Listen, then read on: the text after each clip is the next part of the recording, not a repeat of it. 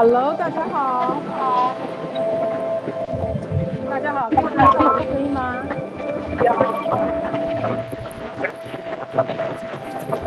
你看音乐可以停止一下了吗？Hello，大家好。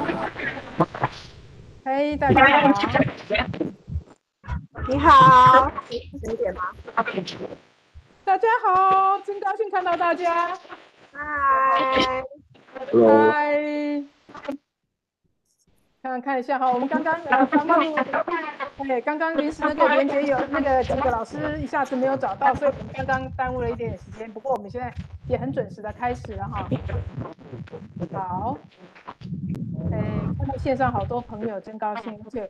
就我所知，我们现场有一个，我们今天的安排的时间是特别安排在每个世界上几乎每一个时区都可以参加的时段哈。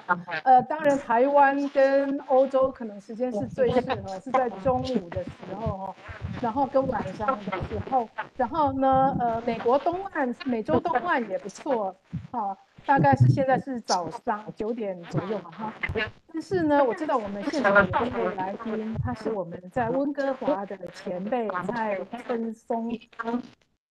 哎，我记上，我记上是今天最早上来的哈，他而且他的那个时区现在是刚好早上，好像五点哈，所以也很感动。对，谢谢大家来参加哈，那我们现在马上就来。进行我们今天的会议。那今天大家很高兴看到大家，尤其我们很久都没有见面了哈。那呃，我们今天的座谈会哈，我们走的是春天路线哈。我还特地去买了这束花，因为大家没有办法来欧洲参加我们的会议，我们想大家应该要感受一下我们欧洲的春天哈。所以我们特地嗯，在现场放置了我们欧洲常见的春天的花朵。让大家一起感受一下，但等一下我们还可以把它拉进去。那呃，我们现在就马上来开始我们今天的座谈。那嗯，今天是我们世界台湾同乡会联合会的呃呃台湾重庆会岛屿新坐标的呃系列活动的第一场活动，也就是曹永和院士的隐藏文本。现在，如果大家呃目前没有讲话的，可以先把那个麦克风关掉，关静音，这样子的话，现场会比较没有杂音啊。然后呢，呃，这是我们的系列活动的第一场活动哈。那我们以曹永和院士隐藏文本这部纪录片开始，然后呃，纪录片已经在线上放映了差不多一个礼拜了。然后我们接下来还有呃，今天还有下个礼拜六啊，都是同一时间。都有都有一场座谈会，第一场座谈会，我们想要聚焦的是曹永和院士个人的经历，还有他所处的时代，还有就是被称为斗嗓的时代这一个世代台湾人的图像。那第二场我们要讨论曹院士的台湾岛史，他所提出台湾岛史的意义，还有对三十年之后台湾史学发展的影响。啊，然后呢？呃，我想要先介绍一下我们呃，今天我想在会议正式开始之前，我先介绍一下我们的工作人员哈，然后也顺便介绍一下我们几个座谈会的规则。我们今天的工作人员包括策划部，呃，对这次活动策划非常呃是主力的，嗯，吴冠伟同学，吴冠伟是波鸿大学的历史学博博士生，他在哪里？对，冠伟跟大家打个招呼，嘿。出个声，嘿，然后还有林宏璇，林宏璇是在德勒斯登念化工，他是化工系已经交完论文的博士，还是还没交完？呃，理论化学博士，呃，教授正在 review。OK，所以你已经交了。对。还有陆燕琪，陆燕琪是我们的学术部负责人。他这次是我们的幕后指导，燕琪在哪里？燕琪不在，看不见。然后呢？还有还有我们的林，哎，哎，燕琪啊，燕琪在哪里？嘿，然后呃，还有我们的幕后的技术指导林碧玲，碧玲在哪里？碧玲在上线上了吗？碧玲在线上吗？好像还没在线上哈，他是在呃加拿大。哎，对，好，那我们呃第一个规则就是今天我们的座谈会进行的话，线上会，所以大家如果呃还没有要讲话的时候，都请关静音哈。要不然的话呢，我们今天呢，我们有呃很多工作人员，包括洪璇跟燕琪，他们都是专业的静音者哈，他们会替大家静音这样子。然后呢，我们看呃我们今天的呃活动方式就是以呃座谈的方式进行。那大家如果有任何的问题要发问的话，好，可以等到最后。那我们一开始的时候会由我跟三位呃我们的来宾一起就一些呃特别的问题来进行作答。那相信之后呢话会有非常足够的时间让大家发问。要发问的人的话，请在留言板登记，好，然后让我们的工作人员啊依照顺序，等一下就可以呃您可以把您的问题直接写出来，让我们的工作人员朗读。那你也可以就是只要登记说我要发言，好。那等到被叫到名字的时候，您再自己把麦克风打开再发言。那等到这些登记的人都问完了之后，如果还有时间，您还有临时有问题的话，那我们就开放让大家举手发问。哈，那那时候大家就可以举个手。那如果大家现在要试一下留言板的功能的话，可以在留言板一下留下说：“嗨，大家好，我是哪里来的谁？”这样子。然后呢，你可以方便试一下留言板的。呃的的功能，一般方面让我们知道说，呃，让自己也熟悉一下这个操作哈。好，好，那嗯，我想现在一开始，我想介绍一下我们三位今天非常难得请到的来宾啊。虽然疫情的关系，让我们没有办法亲自跟他们聚在一起，但是呢，疫情也让我们发现了人间的其他可能性，就是我们呃，即使呃。远隔千里，即使远隔非常不同的时区，我们都还是有办法可以大家呃聚在一起。然后经由现在科技的呃的帮助，我们还有呃我们可以有办法举行这样子的活动。好，那我们第一位想要介绍的就是今天纪录片已经在网上呃放映的纪录片《曹玉院士的隐藏文本》的导演陈立贵。陈导演，陈导演在哪里？我好像看不到他的影像了。嗯，陈立贵导演跑到哪里去了？可以出个声音吗？嗯，怎么影像不见了？等一下。好，那嗯，还有第二位就是我们的嗯詹素娟詹老师，也是中央研究院历史呃台研所的呃台史所的。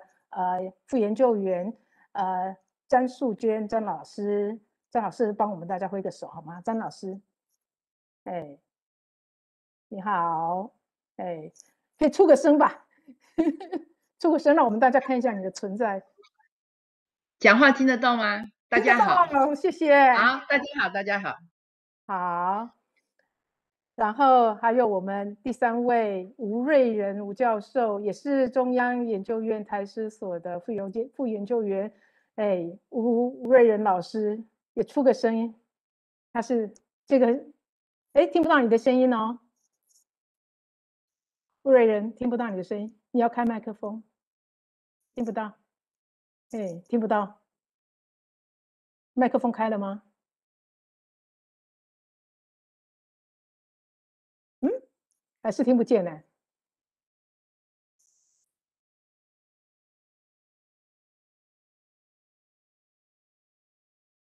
瑞仁老师可以再试一下麦克风吗？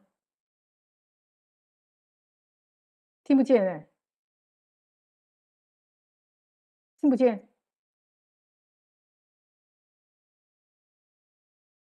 冠伟，你帮一下老师哈。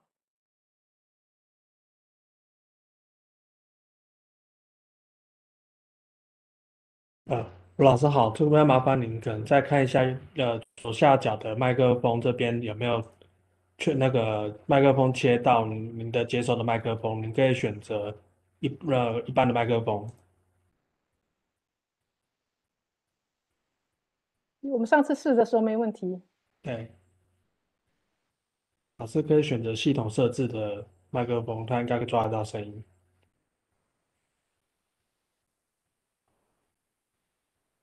我发现陈立贵老师来到现场。了，对，还是听不到吗？啊，听到了，听到了，吴老师好。Sorry，Sorry，Sorry，Sorry，现在可以了吗？可以了，听到，非常清楚，缺一不可。OK，好，好，好，那陈立贵导演也已经重现江湖，跟我们发发个声音，试一下麦克风，听不到？他还是静音哦，嗯。嗯，你要开打开麦克风，现在目前好像是静音。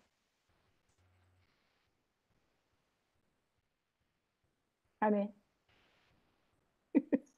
哎喂喂，哎，可以了，听到了。哦，好，刚刚不知道怎么搞，就自己就断线了，嘿嘿嘿，对，哎，有点可怕，嗯，好，还好，一切都还在我们的掌控范围内，OK，那么，呃，我想，哎，今天这个，呃，我们的，呃，现在跟大家再报告一下，就是我们这个纪录片呢。它现在我们已经在网上放映了一个星期了哈。那我们昨天我刚刚上去看，已经有超过六百五十位看过这部纪录片啊。我觉得呃非常高兴。然后呢，我们呃很高兴今天可以请到陈立贵陈导演来为我们再呃讲一下他的这个纪录片哈。那我想我现在就直接开始。哎，立贵导演，嗯，您好像本来是学外文系的嘛？好，那为什么会走上呃电影这条路？您出国，您是美国到美国以后，德在德州奥斯汀念的呃呃电影对吗？为什么会走上电影这条路？不是，为什么会选择用？对，我不是念电影的。呃，我本来我在那个 Austin，，我念的是那个视听教育。那念电影的是我的先生。嗯啊，嗯哼。那为什么会走上？后来人生人生都交换了，本来是我我的教书，哎，对对对，他要拍电影，后来变成他在教书，我来拍片子。哎，对。那为什么会成为一名纪录片的工作者，会走上拍纪录片之路呢？那我经常笑称说，这是我的人生的一场美丽的外遇了，因为他他既不是我小时候作文部上的志愿，那也不是说我人生。这个长大之后，我的人生所设定的终极目标，这样本来不是这样。那那但是就是说，一切都发生在那个一九八九年、一九八二年，我那个呃到美国读书的时候，就是说，呃，是我人生的一场一个重重要的转捩点，这样。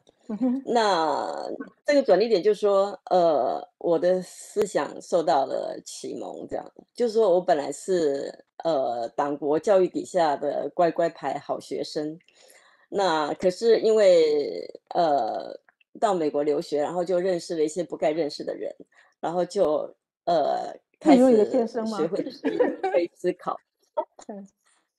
哦，认识一些黑名单的人士了，对，然后就开始会关心台湾历史、台湾的社会与政治这样。然后就说，其其实这是一个还蛮。漫长而追星的过程，但是我在想，我就不多讲了。我们今天要把时间多留给呃吴瑞仁老师跟张素娟老师，他们我觉得他们两个精彩的这个讲者，他们才是那个我们这个座谈的重点。那总之就是我在美国七年的时候，我的思想认同上有了巨大的改变。嗯哼，那就说那时候我们几乎每个礼拜都会看两三场的电影。那所以那时候我在出国前，我不知道什么叫纪录片，然后也是因此而认识了纪录片。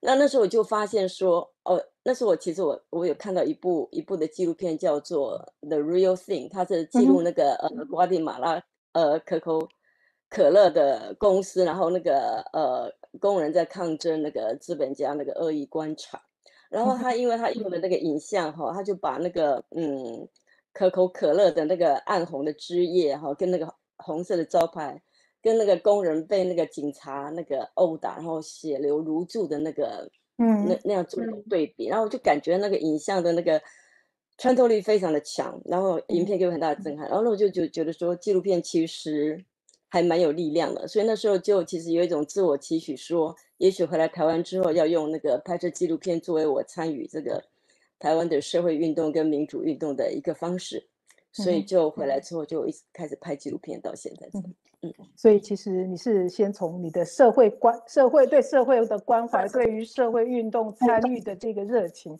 然后你选择用纪录片的方式来表达、来参与这一个运动。嗯可以这么讲哈。那其实，嗯，我们呃，我们观察就是您您说，嗯。呃，曹永和院士这部纪录片是您拍摄的台湾人三部曲中间的最后一部。其实我后来发现，你拍摄的，呃，就是说所谓的斗赏时代这个时代的呃人物，并不只有这三部。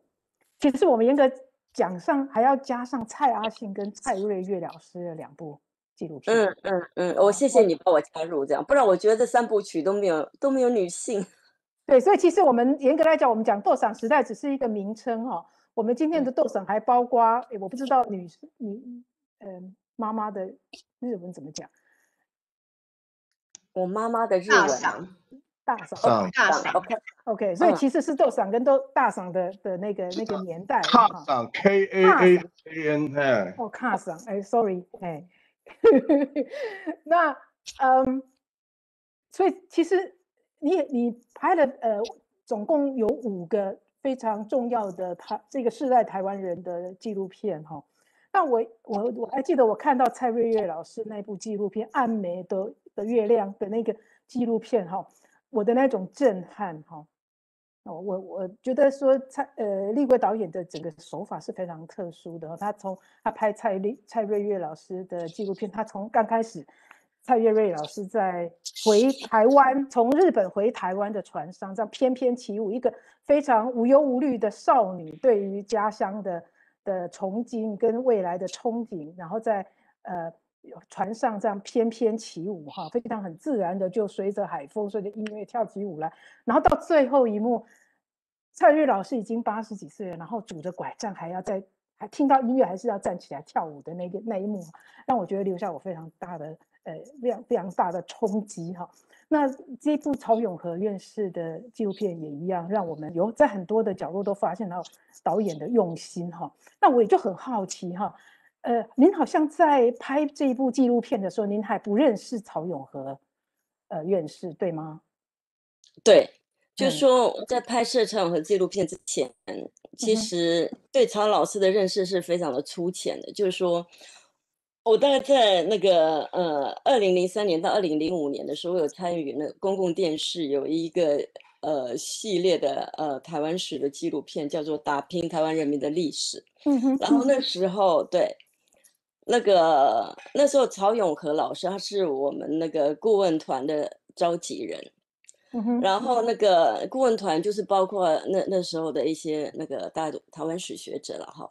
然后我们每。次开会的时候，那个会议是做成那个么字形的，那么字形的那个那个嗯那个直线的那一端是那个公。式的这个呃他们的官方代表，然后那个前面那条就是啊顾问代表，我们我们这边是那个制作制作群这样子，然后我们所以我们开会的时候其实隔得相对的非常遥远的距离这样子。那那曹永和老师他其实他虽然就说非常的德高望重，可是他就是嗯人又非常的谦虚，所以他其。实很少讲话。嗯哼，嗯。那所以我，呃，我我我在拍摄这个影片之前，即使在那个时候有几次开会，跟曹老师有有接触的经验，但是就说对曹老师的认识是跟大家一般人的认识，我觉得没有差太远。就是说他是自学苦读，是台湾史大师，是呃荷兰文专家，然后中研嗯院院士。那嗯其他的呃细节，其实我是不知道的。嗨，嗯哼，那我就很好奇哈，像我会想象说，您就好像一个画家一样，坐在一幅白色的画纸上面，你是怎么样开始去认识这位这位人，然后认想要说怎么去了解他的生命故事、他的学术经历，然后他的呃他的整个学问的重点，然后您又是怎么样去选择要把哪一些画面呈现出来，把哪一些情节呈现出来？像这些准备工作，还有您在取舍的方面，呃，你是用什么样子的方式去？可不可以简单的跟我们稍微聊一下？这样，好，就是说，其实，在那个呃，我在二零一五年拍完那个苏炳欧利桑的纪录片《革命进行式》的时候，就有有一个教授在那个呃呃英国那个伦敦政经学院的施方龙教授，他就他就来跟我说，说曹永和基金会可能会请我拍这个呃曹院士的纪录片。然后，可是，一直要到二零一六年的时候，这个呃呃那个蔡永和基金会才正式的跟我联系讨论拍摄这个纪录片的呃事情。然后后来那个之后，我们正式决定要拍之后，我我其实我第一个请意的对象是那个吴蜜草老师。那因为跟吴蜜草老师比较熟，所以这是一个私下的一个，不是正式的访谈，就是一个呃。一一个吃饭聊天这样，然后他就他就对我讲了这个呃延伸成一跟呃曹老师之间的这这这这整个那个过程，还有那个包老师跟那个老师之间的这个 story，然后我听了，其实我非常的感动，我就觉得说，这真的这种不分国籍这个提携后进的这种这种情谊，真的是非常的感动。然后后来我又阅读了这个，就是张素娟老师啊，还有那个呃呃钟淑美老师他们所撰写的，就是中原院所出版的那一本那个曹老师的口述史嘛。那还有那个呃联合报的记者所写的那个曹老师的呃对对他的传记了。然后那个呃，所以那个时候其实我最初我的构想就是一部呃非常励志的纪录片。我记得那时候我在，我我提出我的那个拍摄的计划时候，我那时候说是这样写的，我就说曹永和的青年时期，他曾经是一位考场的常败将军、常败军呐，他是一个生命的毒蛇，但是他凭着自学成为一代史学宗师，那一生的故事充满传奇与励志能量。他曾经得到贵人的提携，也曾经成为别人生命中的贵人。那。我们纵观曹永和一生的学术历程，看到一个史学，我们可以看到史学者跨越国籍体系后继的光辉人性，也看到国际史学者呃跨越年龄与地域互相协作完成重要史学研究计划的典范。然后我们更看到一个沉默的史学者，以一生的认真与笃实，将台湾史研究提升至一个呃国际关注的高度。所以我最初的构想就是说，大概将曹老师的生命故事分了几个大部分嘛，哈。其实这个好像后来也是变成官网上面的宣传教授哦，是 吧？对对对。可是后来你的你的方向有点改变，是吗？对对对。那可是就说，如果只是这样的话，那这部影片就会跟口述史就会很像。那后来我我就我就记得说，我们有一次在那个呃基金会的董事会，然后张荣志教授也也提到说，呃，这这部纪录片和口述史会有什么不同？嗯哼，对。那所以我也这样问我自己，就说这个纪录片和口述史有什么样的不同？这样。嗯哼。然后后来有一次那个呃跟呃李玉忠老师在聊天的时候，他就提到说。曹老师的表面上看起来很文静，可是曹老师很喜欢看相扑。看什么？那是相扑，很很喜欢看日本相扑。对啊，OK。那这就给我一个想法，我就觉得说，或许曹老师他平静的表面下，他是不是有某种的内在的浮浮流在涌动？可是这是我们呃不曾不曾去了解到的，说不定该该去呃找出这个浮流。对，那后来那个就开始做这个填调采访，然后就其实就是说感觉到超老师的生命中也也有一些矛盾的存在，譬如说他是一个史学者，对不起，我喝一口水。好，没问题。说他是一个历史学者，但是他从来不公开谈论政治。然后我们在访谈的时候，苏炳欧里上他也说，呃，曹老师一看相熟，然后我们在那个纪录片里面，那个我们也听到这个这个谈话。然后他的儿子也说他比较明哲保身这样。那他的学生，可是他的学生却说他私底下他会推荐他们读王玉德啦、史史明啦，还有黄昭堂、徐世凯等的书籍，他会介绍给学生阅读。所以就是说，我们觉得说，他虽然他呃虽然不公开谈论政治，可是他不表示他没有政治立场或政治态度。然后在阅读一些文字当中，也发现说，曹老师他自己曾经多次提起，他呃第一天到台大图书馆上班的时候，那时候校门口有有卫兵，然后那种气氛是非常肃杀的。对对，然后在访谈曹老师家人时候，也谈到二八时期他不断烧书的那种惊恐啦，还有他好友在二八事件中被捕，后来被处死。嗯哼，嗯哼，好。那我们就可以想见说，在白色恐怖蔓延的时代，那曹永和他又是他在台大图书馆上班，那那几乎都是以外省族群为主的这个公务体系当中，我们可以想象他其实是活的，应该也是有点战战兢兢的、小心翼翼的。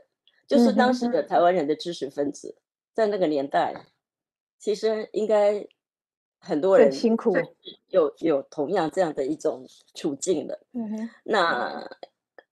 他的太太的闺蜜其实就是曾文慧女士，嗯哼，那李登辉先生就是李登辉，对，前总统，对他们，对对，他们是呃年轻时候还是蛮熟悉的朋友，所以就说呃李登辉的前半生其实也是不也是如此嘛，嗯，那后后来就是说在访谈吴瑞仁老师的时候，他进一步谈到说曹老师那一个时代的知识分子，其实都有一个表层文本跟一个。隐藏底层文本了哈，那我是觉得说，我听到那个吴老师的这个说法的时候，我就觉得说，哎，这个说法其实给曹老师看是矛盾的人生哈，有一个很合理的解释。嗯哼，那所以我们的影片就在那个曹老师的这个生命故事中，就拉出这样子一个隐藏文本的这样一个轴线了。嗯哼，嗯哼，那对我来说，就是说一个安静的学者，一个不涉政治的学者。可他却在九零年代的时候，透过张素娟老师的好学生发表台湾岛史。嗯哼，那是和李登辉他在九零年代开始掌权之后，然后就大刀阔斧的推动以台湾为主体的民主改革。这我在就就我而言，我是觉得说这其实是有异曲同工之妙了，因为我也拍了李登辉的呃纪录片嘛，哈。那所以那个这个吴瑞仁老师的这个底层文本的说法。就让曹老师的矛盾之处，我觉得啦，有了有了一个很美好而且很合理的一个解读，这样子。嗯，所以我是很感谢吴瑞仁老师。我说每次访问他都会有，都会成为影片的亮点。嗯，嗯嗯，所以嗯，呀，所以您您拍完这部电影的呃，就是。您您这这部电影在台湾已经放映了嘛？哈，那您在在台湾有没有接受到什么样子的 feedback？就是说，在他的家人、他的朋友，或者说观众，有没有人给你一些不一样的回响？那个影片放映之后呢，当然就说有一些朋友，或者说，其实即使在这一次的那个呃线上放映之后，又有一些呃不认识的朋友，然后来跟我加连友，来跟我说他们 看。感动这样，我想这些很温暖的呃回馈，我就不用再提了。嗯，我是感谢了，但是不用特别提起。我想我就讲三个比较有趣的那个回馈。嗯，呃，有一个有一个那个呃，我在日本的朋友，他回来台湾的时候，我我送他这个 DVD，他看了，他跟我说，他看完影片，他觉得说很对不起曹永和。我说为什么呢？他说，因为他过去他曾经很瞧不起这个人。我说为什么呢？他说，他认为曹老师在威权时代他保持沉默，然后没有作为。他认为说他必然也是共犯结构的一部分。嗯哼。但他看了纪录片之后，他觉得说，嗯，他体认到说必须也得像曹永和老师这样沉得住气，然后在威权时代沉潜自己、厚植自己的实力，然后等到自己拥有发言权的时候。才能发出这样如洪钟之鸣，这样，然后造成历史的改变，然后也造成社会的改变。所以他对曹老师的看法应该有了一百八十度的转变。这个对我来说，我觉得是很戏剧化的。嗯哼。然后另外有一个，嗯，雪梨大学的一个教授，他呃看完纪录片之后，他跟我说，他第一个感受到的是学术的美好。这也是我没有想过的。他说。呃，他感看了之后觉得说学术的美好值得用一生的这个生命去追求。嗯，然后另一个感动点，他就说那个曹老师跟学生的情谊嗯哼哼哼，情谊了，所以他觉得说纪录片的名名称也许可以叫做曹老师与他的学生们。嗯哼嗯哼，对，其实嗯，对下就是就嗯就呃，哎，好像还有呃，就就这个就是说关于说明哲保身，或者是说是不是时代的共犯，或者我们要怎么样来看待这一代这一代人哈？如果他们不是每个人都是冲锋陷阵的革命烈士嘛哈，那要怎么样来看待其他的这些人啊？我觉得这个以后我们等一下呃可以再深入再去讨论它。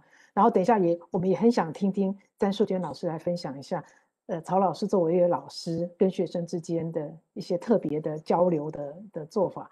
那刚刚好像还说到还有第三个让你觉得印象很深刻的回馈是吗？哦，对，第三嗯个其实是我在那个呃桃园那个桃园的那个青年哦蓝世博，他有在那个戏院里面嗯特的特别一场呃这个影片的放映嘛。嗯然后放映之后呢，就有一个呃高中的老师，他在印花特别跑来找我，他说怎么样可以呃拿到这部影片，他想放给学生看，因为他说他说他说呃他不懂政治啦哦，但是他觉得曹老师的故事非常的励志，他说给学生看非常的好这样，那所以他说他希望可以买到 DVD，那这个这个一个说法其实是好像稀松平常，可是却让我有某种撞击，我就觉得说，哎，这个影片的制作过程，其实我整个思考一直被 obsessed，就是说在这个隐藏文本这样的一个一个轴线，其实我几乎把这个励志的故事快要忘记了。对，所以所以这个高中老师对我这么一说的时候，我我的感觉是非常非常奇妙，我就觉得说还好还好，我那个我的初衷，我的影片的初衷，这个表层文本其实还是可以看到的，嘿嘿。对，对，其实我第一次听到这部纪录片，或者是听到曹永和老师这这位呃院士的故事，也是从立贵导演这里哈。立贵导演那个时候应该是你在拍 拍完纪录片从荷兰回来的时候，到我们家来做客哈。然后嗯，那时候就提到说，哎，你去荷兰拍这部纪录片，我就觉得好惊讶，居然有台湾有这样子的呃历史学者哈，呃，然后呃从来没有念过大学，没有受过任何学术的呃正正规学术的呃训练哈，那一个人可以学会，他会讲呃日文，当然不用讲啊，日文、汉文，然后英文，然后自学荷兰文。好像法文、德文也会哈。那荷翻兰文，嗯嗯，还有什么？还有？好像西班牙文西班牙文啊。那任何一个语言呢，这里面任何一个语言都已经会任何一种语言都已经非常了不起了。我们学德文，大家都学得战战兢兢的这样哈。他居然可以一个人学会这么多的语言啊，驾驭这么多语言。然后呢，呃，听说那个时候在他那个年代，好像能够用古荷兰文做学术研究的，在全世界也不过只有六个人。听说啊，那曹永和老师就是其中一位哈。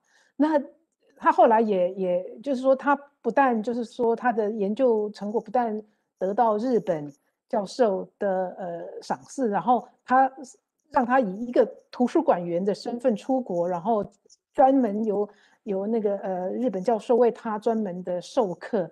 然后呢，他也跟许多的日本学者有交流，然后呃，他后来也呃得到中研院还有台大的肯定，然后中研院也呃破例的聘任他作为研究员，然后台大也呃聘任他为教授。之后的话，他也得到了呃西班呃得到呃荷兰女王的勋章，得到日本天皇的呃勋章哈。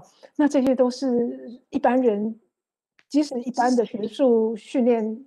正正规学术训练出来的人都非常难得到的光荣，他居然能够呃一个人哈就这样子呃呃得到这样光荣，但是我们我们后代的人好像我我不知道今天在座的人有多少人认识他，我我本人的话就是从那个听到立贵导演拍这部纪录片以后才认识这一位老师哈，那呃所以我我我个人的话听到的时候是撞击，这从这一方面来讲的话撞击也很大，但是。就是看了立贵导演的呃整的整个纪录片以后，又发现了另外一个他的一个世界，就是呃我们说到的隐藏文本啊，就是他们在表面上，呃呃，只是一位学者，只是一位图书馆员，然后在深层的内心是怎么样去面对那个时代啊，用他们的方式哈。那呃，里面您有提到说，他他进入台大的呃图书馆的时候，那个时候台大其实是南洋学术，就是南洋史。在日本时代是南洋史研究的重镇，然后有非常非常多的古书籍，然后呢，在好像在整个台大的地下室，人家说是黑书库，因为满满的都是书，但是没有人去去整理这些书哈。那呃，也是曹老师把每一本慢慢的把它整理出来。好，那像这样子的故事的话，嗯，对我们来讲，对我个人来讲是是一个一个去。认识这样这个世代的一个人，这样也是也是第一次的一个经验哈。那好，呃，我想我们也许我们在这个呃，我们现在把我们的呃座谈的那个主题，我们就呃转到曹老师呃以及他的跟他的学生之间的交流。那我想这方面的话，詹素娟老师是真的是最好的代言人啊，詹素娟老师。哎，嗨，你可以开一下麦克风呀，嗨，呀，听到了吗？啊，呀，听到了啊。詹老师的话，他是您本身本来就念历史嘛，哈，是是还是大历史系博士，呃，博士生，然后博士，然后呃，后来也进入中研院。那您的呃研究的主题是族群史、区域史，还有呃很重要的是原住民史。好，对，哎，那。您为什么会走上历史这一条路呢？是很很自然的一个选择吗？还是有一些特别的一些经历？呃，今天我们的主角其实是曹永和老师，我自己并不重要。不过既然您问了，我就简单说一下。其实其实我本来是一个呃很普通的学生，在在青少年的阶段，那那时候对未来要做什么并没有。明确的想法，要呆呆的啊。然后呃，可是我会应应该是说走上历史这条路，应该有两个转折。第一个是去念了历史系，是我选择去念了历史。然后，但我念历史只是因为我去念了，而并不表示我会做研究。但是，然后后来呃又走上研究之路，所以对我来讲是两两件事啊。好，那呃会会。会会去念历史系，并不是选志愿的时候被随便投放。其实是在我高三的时候，我很亲的一个舅舅，他那时候在念大学，那他特地回来找我说，呃，要我考大学的时候要考历史系，要填历史系。嗯哼，因为他本人在那时候的大学校园亲身经历了校园白色恐怖。嗯哼，那呃，他的老师在那个时在，在那个时间点被抓了。那他他非常的疑惑，为什么会这样子？嗯，那这个问题他百思不解以后，他认为这个答案应该在历史里面。嗯，所以他就觉得他已经没办法去念历史系，所以他就把这个任务交给我。嗯所以有这样的关系，所以我就填了历史系，就就因为我完全没有填其他系，我就进了历史系。嗯哼，那那这个是就是这样子的缘故，我才选择去念了历史。嗯哼嗯哼，那。但是会走上历史研究之路，其实是跟我的台湾意识启蒙有关。因为我念了历史，跟我写了台湾史的论文的时候，它还只是一个学术领域而已，跟我的台湾意识还并没有结合。因为那时候我的台湾意识还朦朦胧胧的。那我真的台湾意识启蒙跟茁壮，其实是一九八六年解严以后的台湾社会政治的变迁。嗯，然后。那时候我开始认识很多，就像要那个陈导演说，他认识了很多不该认识的人。我那时候也开始认识了各式各样的人，在街头上冲撞的人，然后呃张延宪老师等等啊。然后然后那时候又发生了呃郑南榕自焚事件，然后詹义华自焚事件，然后五二零等等这一些事情一波一波的来。然后这时候我才开始，台湾意识才开始明确化并且茁壮。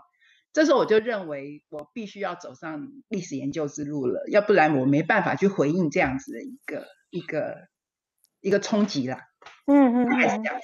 哎，我现在觉得我们应该要另外开一个座谈的系列，就谈我们生命中不该认识的人。因为我发现我自己也是以前也是懵懵懂懂的，然后我也认识了几个不应该认识的人，然后呃，才使我们今天才才让我的整个的思想有一点启蒙，这样子哈。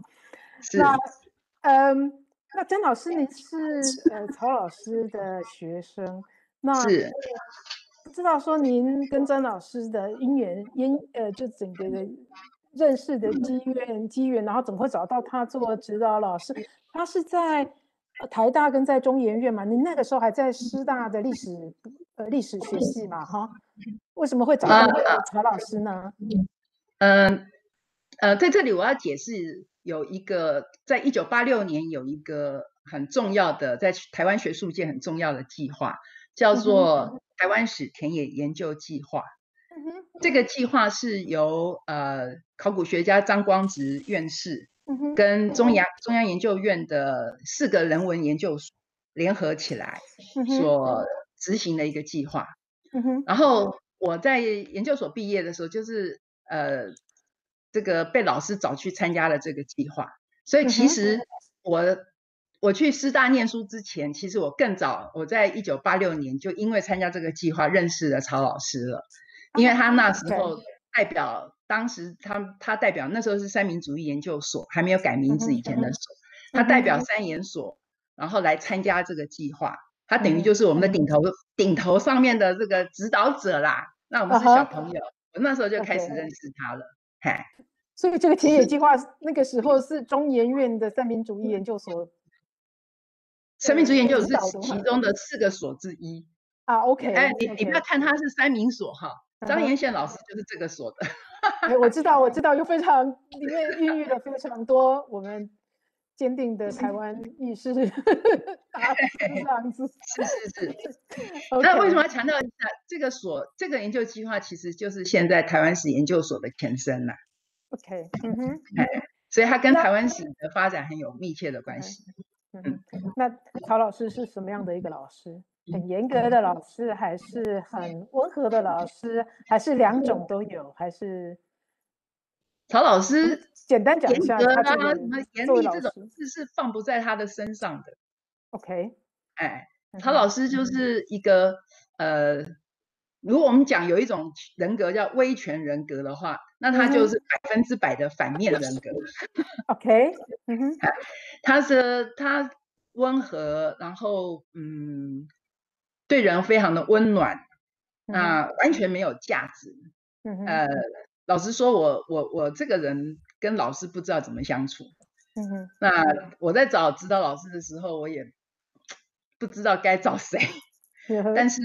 我觉得跟曹老师就很谈得来，我觉得个性上很投合，然后呃呃跟老师在一起的时候，我没有什么话不敢讲，嗯哼，就什么话都敢跟他讲，所以我觉得蛮重要的。对对对，跟老师的相处，我觉得非常的呃很能够亲近他啦。嗯哼，他跟学生们，我想所有的学生对他的感受都是一样的。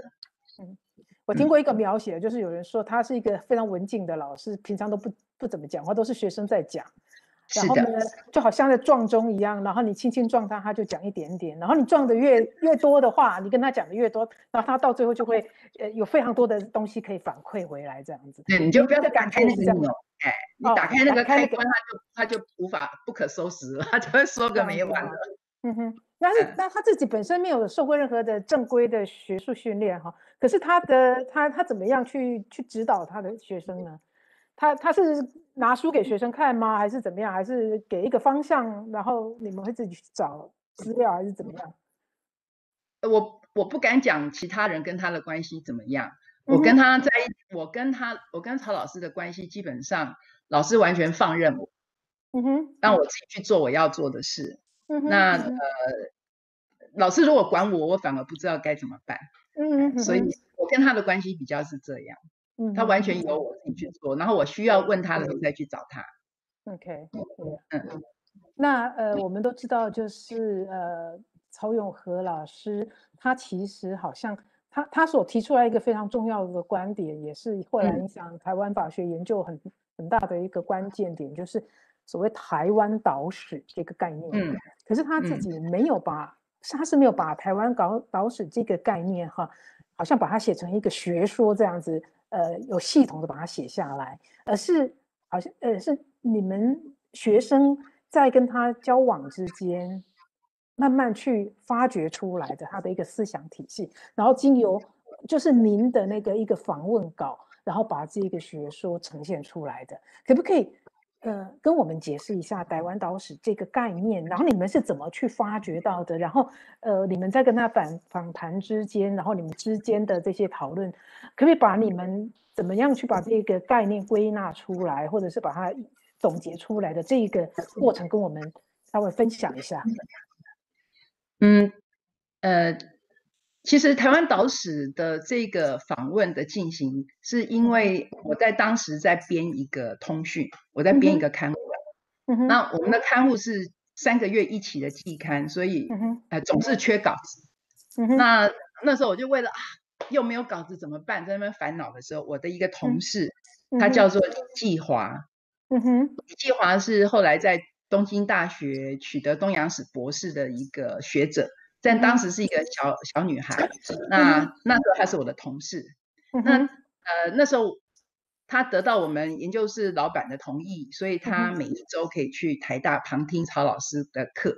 嗯哼，所以我们会谈台湾岛史，这样用这个议题去访问她，是因为曹老师在当时的课堂上，就用各种学理或者是案例在课堂上就在谈了。他是时代是哪一个年代？呃，大概就是一九一九九零年左右，就一九八九年到一九九零年的那个时间点。嗯哼。然后呃，那李继华他去旁听老师的课，那他听到老师讲这个，对他这个冲击很大，很有吸引力，所以他就回来跟我说，老师讲的东西是这样。因为事实上，我我虽然做曹老师的学生，但我其实没有修过他的课。然后呃，他这样跟我讲以后，我也非常的好奇。嗯哼，所以我们就因为这个机缘，然后去找曹老师，然后做这个访问。那访问的过程啊，曹老师都是轻声细语啊，然后断断续续啊，然后这个有的有的时候还去查一下资料等等，然后嗯哼呃，经过一个下午把他大概大略讲过一遍，就把他上课的东西讲了一下之后回来，我们整理稿子。但是我们所整理出来的文字。都有拿到他的面前去，一个字一个字念给他听，让他确认过。嗯哼，嗯哼，好，所以大概是这个这个访问其实是因为这样子一个机缘开始的，嗯然后才成稿。嗯嗯哼，但是当然我没有预料他以后会影响这么大，完全没有预料到。嗯嗯嗯嗯嗯嗯，对，那嗯。您可您可不可以也呃稍微再讲一下，就是台湾岛史，你是怎么样去理解这个概念？我想今天虽然不是他我们的完全我们的主题哈，但是呃给也许给呃各位听众有一个简单的概念。您觉得台湾岛史是什么，或是怎么样来简单的呃来叙述一下它的重点？嗯，我我想。台湾岛史其实像现在在网络上、Wiki 上面，还有呃很多学术界都在讨论。其实我想大家都很熟悉了。它基本上就是讲啊，历史不要跟着人走，要跟着土地走。然后台湾本身，台湾岛屿这个本身就是一个历史舞台。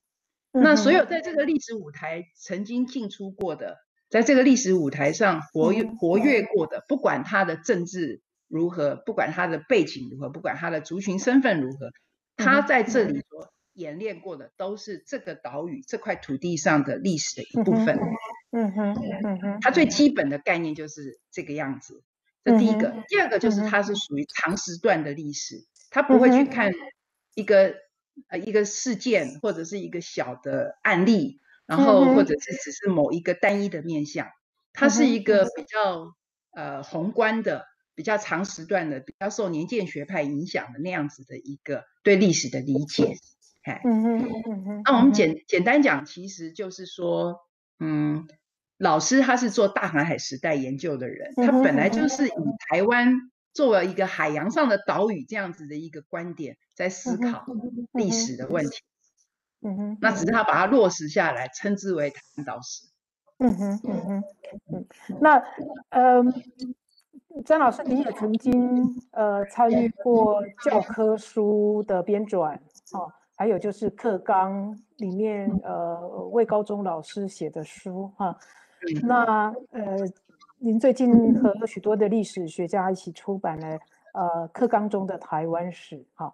那我们呃已经出国很久了，我们这边很多人都出国很久了哈，高中毕业也很久了，然后出国也更久哈。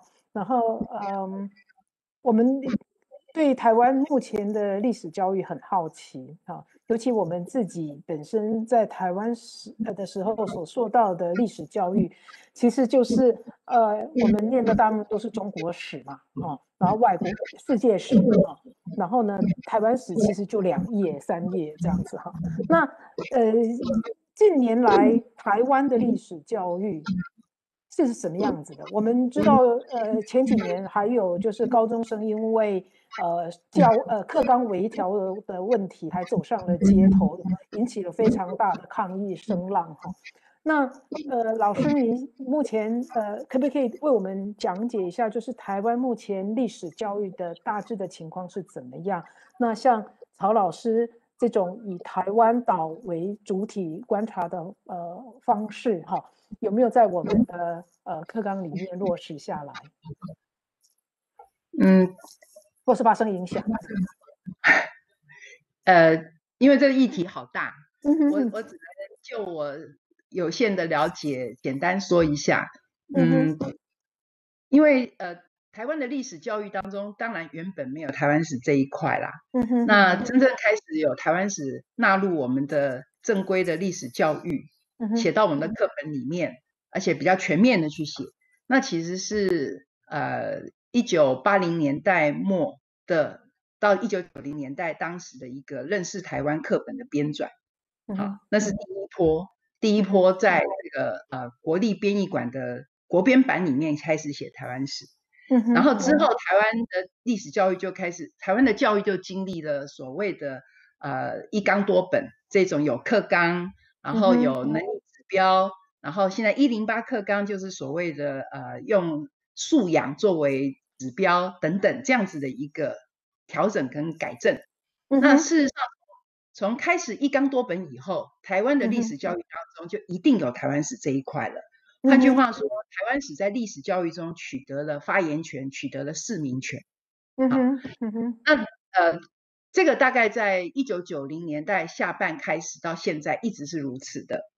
那但是呃，但问题是，编审教科书的老师不一定是台湾史的人，所以他们可能在在。这个课纲的审定过程中，以及课本的审查过程中，会提出一些违背历史潮流发展这样子的一个要求跟意见，所以这才会有课纲微调的过程中引爆师学台湾的学生去抗议啊，或等等啊这一类的事会发生。这是因为呃，虽然有个大的趋势，但是因为史学台湾史学界或者是台湾的历史界本身。跟教育体系之间的这个权力结构还没有完全呃改变，所以有时候这个东西不一定能够落实。哎，嗯嗯。那总体来讲，到一零八课纲就是现在我们的十二年国教的一零八课纲啊，台湾史已经在啊在整个历史教育当中，已经可以说是取得一个一个呃主体性的地位。主体性的地位就是说，呃，这历史会从立足台湾。来思考台湾的历史教育要怎么做。嗯哼，所以作为一个在台湾的人，他应该要了解台湾本地的历史，这是应该的。然后，然后由此出发，作为一个台湾的人，他要如何了解他跟东亚地区或跟中国的关系，这个历史脉络。作为一个台湾的人，他如何建立世界观，然后因此要去了解世界的历史。所以他的一零八课纲的那种思考逻辑是从这样子推出去的，由近而远，然后呃。这个详经略古，哈，然后会立足台湾的这样的一个立场，你怎么样去呃去吸收历史教育，然后成为一个公民啊？嗯，比较是这样。一零八课纲大概这样的回调，就是在这样子的一个状况下，然后形成的。嗯哼，而且一零八课纲跟过去的课纲最大的不同是，每一个断代都有原住民的东西，有原住民的历史元素放进去。嗯哼，这是这是要彰显台湾作为一个多族群的国家一个很重要的一个一个做法。啊，这这个我想是伊尼巴克刚跟过去两个最大的突破跟最大的不同。嗯哼，所以我们现在可以说台湾的历史教育已经有长足的进步，我们可以这样讲吗？就是他整个视野完全不一样了，可以这样讲才怪嘞！当 然，因为教教育的第一 教育现场第一线的老师还是原来的人啊。哦，OK，所以。哎，所以虽然有这样的课纲、课本也调整了，可是现场的第一线教育的老师，他可能原本就是没有读过台湾史的，或者对台湾史不怀好意的，或者是对台湾史充满误解的，或者是认为台湾史非常政治的，可能第一线的老师还是这样子的老师，所以这个还有的要拉锯战呢。所以我们已经有一小步，那还要再继续努力。是的，要继续努力。哎，我们大家都要一起继续努力。谢谢，谢谢，谢谢。好，那嗯，接下来的话，我想我们就来呃，请问一下吴瑞仁老师。好，吴瑞仁老师，我们大家都很熟哈。吴瑞仁老师是我们欧台会跟世台会的常客哈，常常呃，在非常重要的时刻到海外来给我们大家打气哈，然后跟我们大家分享很多台湾的。呃，一些社会政治方面的呃变动跟分析哈，那呃吴瑞仁老师，哎，您也算是哎曹老师的学生吗？啊，这是有争议的啊，这是有争议的，OK？假说乙说，嘿，不是啦，那我就直接讲嘛，就为什么我 我不是我不是呃正统意义下的曹永和的。学生，我没有上过他的课，我甚至不是历史系出身的嘛，哈，然后我也没有像那个我的同事那个阿关哦，詹树娟的在比较早期就参与了台湾史的学术性台湾史研究的起点，就是所谓的那个台湾史田野工作室，然后在那个机会里面认识到正统的在历史学体系体制当中的这些台湾史的前辈，我都没有，完全是一个外来者。所以我常开玩笑说我是台湾史的养子啊，哎，啊。我是在我是大家知道我是政治学博士嘛，然后我二零零四年年底才回回到台湾来加入台史所的行列哈，然后我我接触到曹老师是 personally，我之前就读过他的东西，但是个人接触他接触他这个人本人，然后认识他，开始跟他。啊，有一些哦，有一些互动是在二零零五以后，也就是说，陈老师生命中的最后十年当中啊，这个十年的关系里面非常，你可以说来的很晚的很稠密哈，那个这个关系某个意义上，呃，大概我接触到这个，我非常偶然的接触到曹老师的某一个不同的面相，那个面相大家。他的学生们哦，因为跟他太好了哈，因为太他太习惯他的那个非常温暖的这个好老师的这样一面，结果没有想的就是没有去注意到，反而被我接触到哈，因为我是一个外来者的关系，因为我闯进了一个朝门的一个非常温暖的一个共同体里面，我是一个外来者，外来者他对于外来者讲出另外一种不同的语言，于是你才知道说曹永和是一个多声道的人，他有好多。是这样子哈，然后为什么会认识他？因为曹永和老师是这个中研院的以前那时候的台史所的一个咨询委员，所以我们每年都要开咨询委员会议，嗯哼。那都会来开会，嗯哼。然后开会的时候就会认识他，然后有机会跟他聊天这样的。然后这个呃，另外就是说哈，那个影片里面也看得出来，那个曹永和老师跟他学生非常要好。所以这些学生们啊，在曹老师退休了、年纪比较大的时候，还常常帮他办各种各样的比较轻松的讨论会，或者是座谈会，或者是某一种 reception party 这种东西。那趁老师来所上，大家就聚在一起，然后呃聊聊天，或者是请老师讲讲话或干嘛这样，就会聚会，呃聚会。那我会被邀请，哎。所以你会知道我是外来者，我会被邀请去这样。可是，在这个机会有一次，曹老师对着我讲了一个多小时的话，然后不理他的学生啊。哦吼。然后他跟我讲不知道，因为我问他说你以前在读书的过程，于是他就从头开始跟我讲，讲了一个半小时。OK，然后呢，所有的所有的他的学生们就在旁边被晾在一旁。然后后来呢，呃，钟淑敏学姐哈，就是我我们的副所长钟淑敏老师也是也是曹老师的弟子哈，也在影片里面有出来的。他读书的那位，对不对？他就告诉我说，瑞仁他的每个学生都要听一次他的这个啊苦学历程啊。OK。所以你今天他跟你讲了一个半小时，意味着什么呢？意味他把你收入门下了啊，所以你所以无意之间被他收入了，收入了门，但是最后关门，在这个意义下是关门弟子了哈。嗯哼哼哼，我说他是有争议的嘛，因为也许正统的史学家不会认我了，OK，所以我跟他关系比较比较那个比较暧昧一点这样子。对，血统不明的，血统不明，可是偏偏。偏偏我又听到一些只有我听过的话，其他人全部没听过。就是在有一次曹老师来我们这边参加这个咨询委员会的委的会议的时候，他是是他的已经是不良于行，所以他要坐这个 wheelchair，坐这个呃什么轮椅。然后在休息的时候，我就去找他聊天，跟他谈。然后他知道我是做民族运民族运动的，嘛，他知道我是政治学出身，做民族运动。于是他突然间跟我讲一句话，他说呢，现在的台湾，他用台语讲了，他跟我讲，所以他在影片里面都用都讲北京话，对不对？他他都跟我讲台语，然后就用台语讲说，今麦台湾哈，哎 nationalism 啦，各位日本话 nationalism 是什么意思？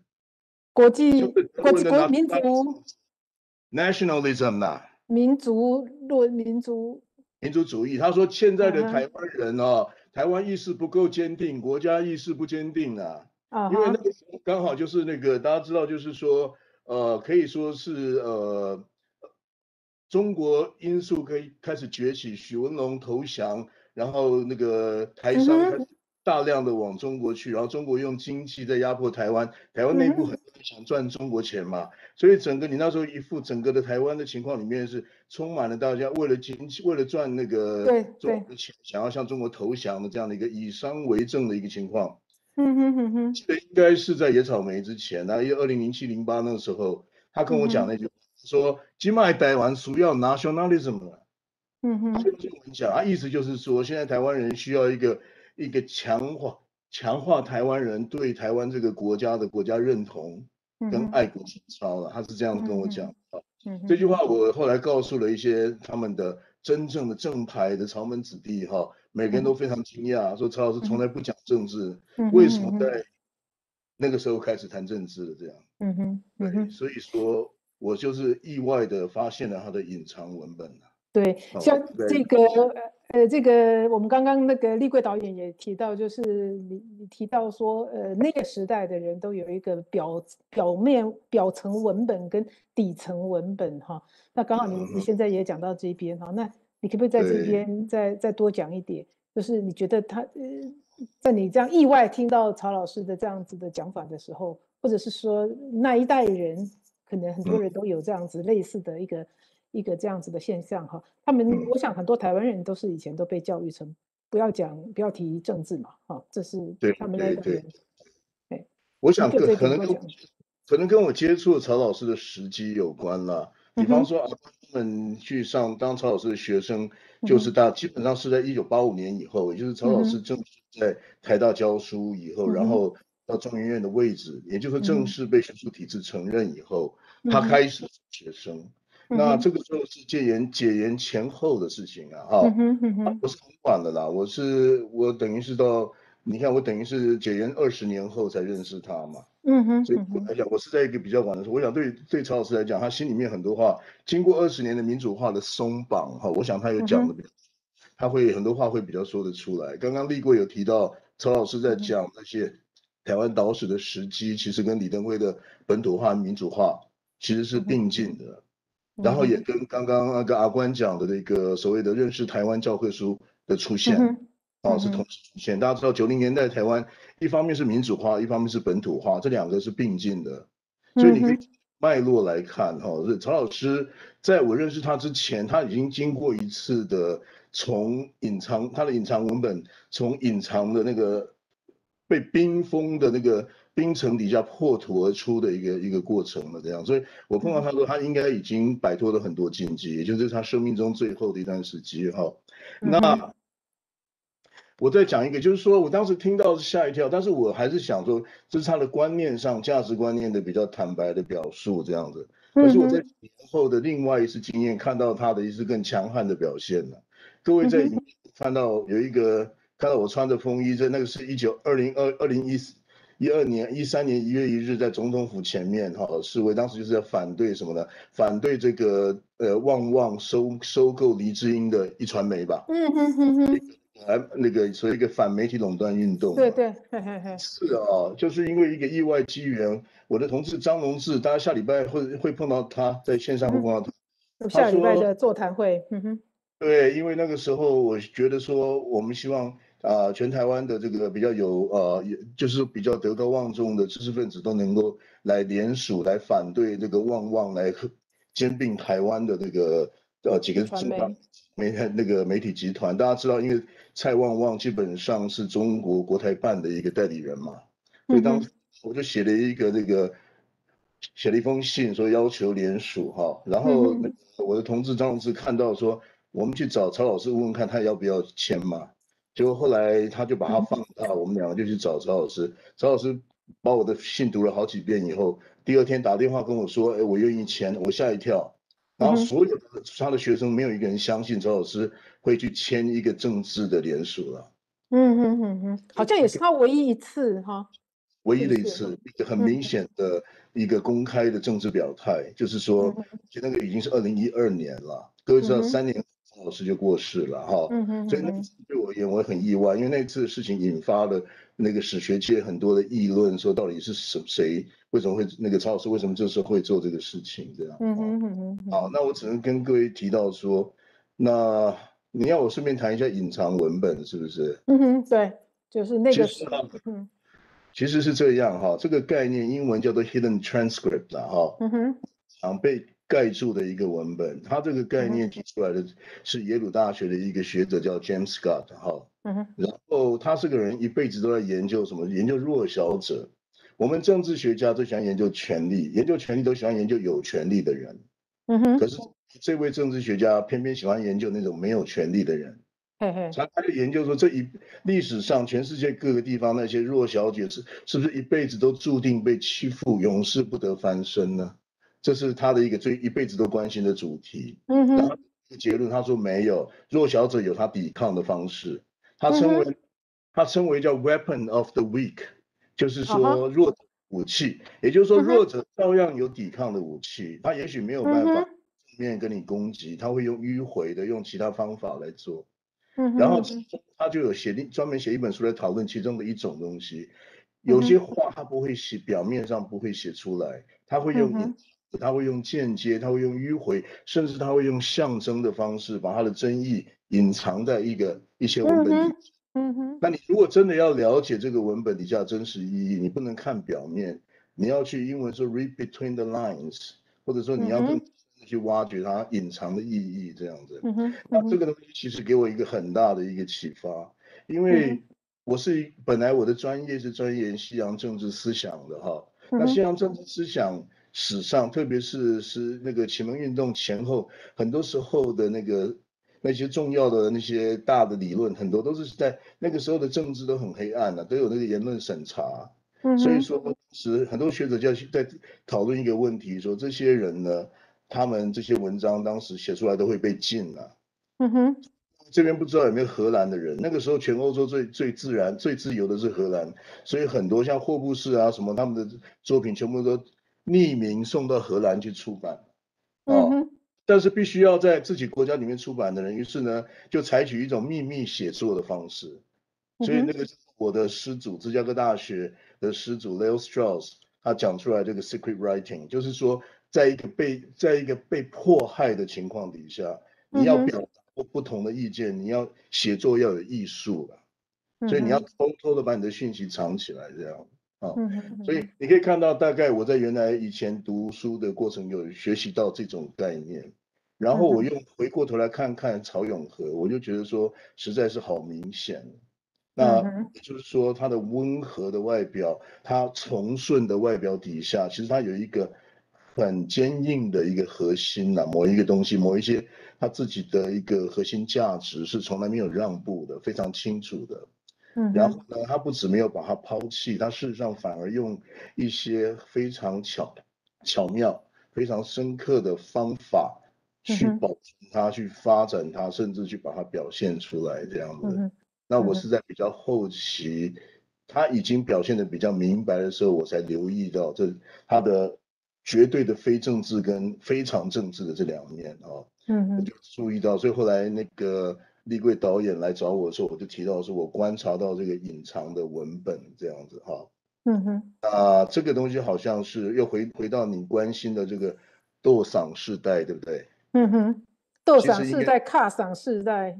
应该是应该是我应该是欧记赏世代跟欧巴赏世代的吧？对现在的年轻人来讲，不是不是阿伯不是那个爸爸妈妈时代，而是祖父祖母的时代的嘛？哈，嗯哼，因为你在讲的曹永和先生或者是史明，都是一九二零年代出生的，他们年纪是以一百岁来计算。你现在二零二一年刚刚好，他们几位都是在这几年过世，曹永和或者是史明或者是那个李登辉嘛。现在还唯一的一位同辈的是谁？是彭明敏教授啊。不是大概二零年代的前期到中期，一九二零年代出生的这些人哦。对。对。他们有一个很大的，他们都共同的，好像有一个共同特性，他们都有表层跟底层，他们都有藏文本这样子。嗯哼。那我是一个世代，就是你在讲的这个世代，一个一个很大的共同性这样子。那为什么会这个样子？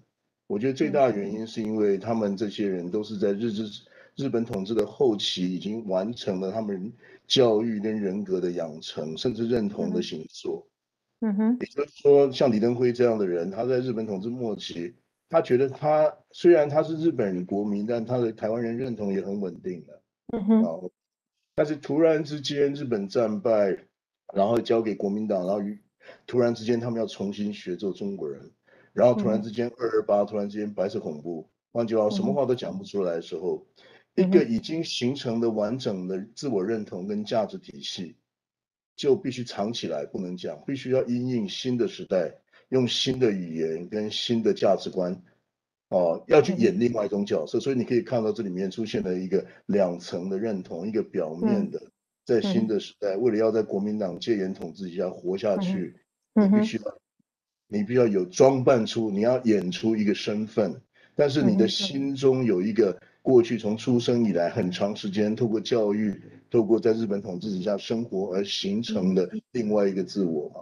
我觉得他们都是非常普遍的，都几乎普遍的，而而且不只是不只是那个本土派，我觉得所有的包含跟国民党合作的，所有这些在日本统治下已经完成相当教育这些人，大概都有这种两面性。林洋港也有啊。有哈，林洋港也有，邱创焕也有，他们那些人全部都有了。嗯哼，最大的差别是说，最后那你要不要加入国民党，甚至你要不要跟他们一起助纣为虐啊？我想这是最大的关键的差异嘛，这样。嗯哼，我简单先这样说，不好意思，这样。嗯，对我以前也，嗯，其实，呃，这个斗嗓的时代，应该对我来讲也是祖父的那个时代哈，像像我们祖父那一辈，我我自己的本身的经历来讲的话。像我我是小时候到外公家去玩，然后没有什么没有什么特别的感觉嘛哈，诶，然后然后我们家讲话呢，就是一句话里面有有汉文有有台语这样子，各种语言这样交换。那我是很久以后才发现说，哎，我的阿公不会讲汉语耶，我是很久很久以后才知道哈。那时候我也蛮惊讶的，他说他不会讲中文这样子，那我那时候才有一点点惊讶说。那我们如果今天我们再来反观这一代的人哈，他们出生的时候其实是日本人，然后在受日本的教育长大，然后忽然有一天变成了呃中国人哈，堂堂正正的中国人，然后要要欢迎另外一个政府、另外一个时代的来临哈。那这个是那这里面又包含了一些呃迫害，或者是有些人可能是不知不觉的这样子跟着时代这样子随波逐流哈。那我们刚刚也听到立贵导演讲到，就是说曾经有人觉得说他们这些没有出来摇旗呐喊、没有出来抛头洒热血的人是是呃呃是很沉默的一大群人哈，然后呃很胆小，有人觉得他们很胆小，那呃甚至有人说他们是帮凶哈，这样这种字眼哈。那我就想说，我们应该要怎么样来看待这个时代的我们这一代的前辈哈，这一代的嗯呃父亲祖祖父们哈，嗯，我我我自己也也也曾经觉得非常的矛盾过哈，因为我们常觉得说，哎，你你在这样的一个时代，你都没有人出来反抗，那那些反抗的人就很孤独啊哈。那但是我们也毫无疑问的，我们知道就是说。当你出来反抗的时候，在那个时代，很可能你刚刚发生就可能被也压下去，然后也可能马上就会丧失生命哈。那嗯，但是如果说像没有曹老师这种人的话，我们可以想象，就是台大本来是那个时候是台北地大，是台呃日本啊，他要因为他要进进军东南亚，他把想要把台湾。变成一个就是南洋史的一个一个重研究的重镇哈，那所以有非常非常多珍贵的荷兰史料，那个那些史料是有的时候是从从韩国呃荷荷荷兰直接带过来，然后他们照相啊，或者是用任何的手抄本的方式这样引进了台湾，放在台湾的那个黑书库里面，台大那个黑书库里面。那当国民党来的时候，当然没有人会去整理它。那如果说没有曹老师的话，那台湾台大的这个也南洋史研究跟这些非常珍贵的史料就永远不见天日哈。那也是因为有曹老师这种，呃，他还因为要去整理那些那些史料，去学古荷兰文学、西班牙文，甚至于我听说他为了要编那些书目，因为那些书目是用法文写的，他还去学法文。哦，那如果没有他的这些做的这些工作，那后来的那些像江树生、像包乐史、像更后来的像詹老师你们，还有呃呃张张荣志老师他们，可能要在做这些南洋呃这些呃航海史的研究，或者是荷兰时代的研究，或者是南洋史的研究，会几乎是不可能的，或者是有遭遇到非常会要克服更大更大的困难哦。那所以说他的贡献，呃，无疑是非常大的。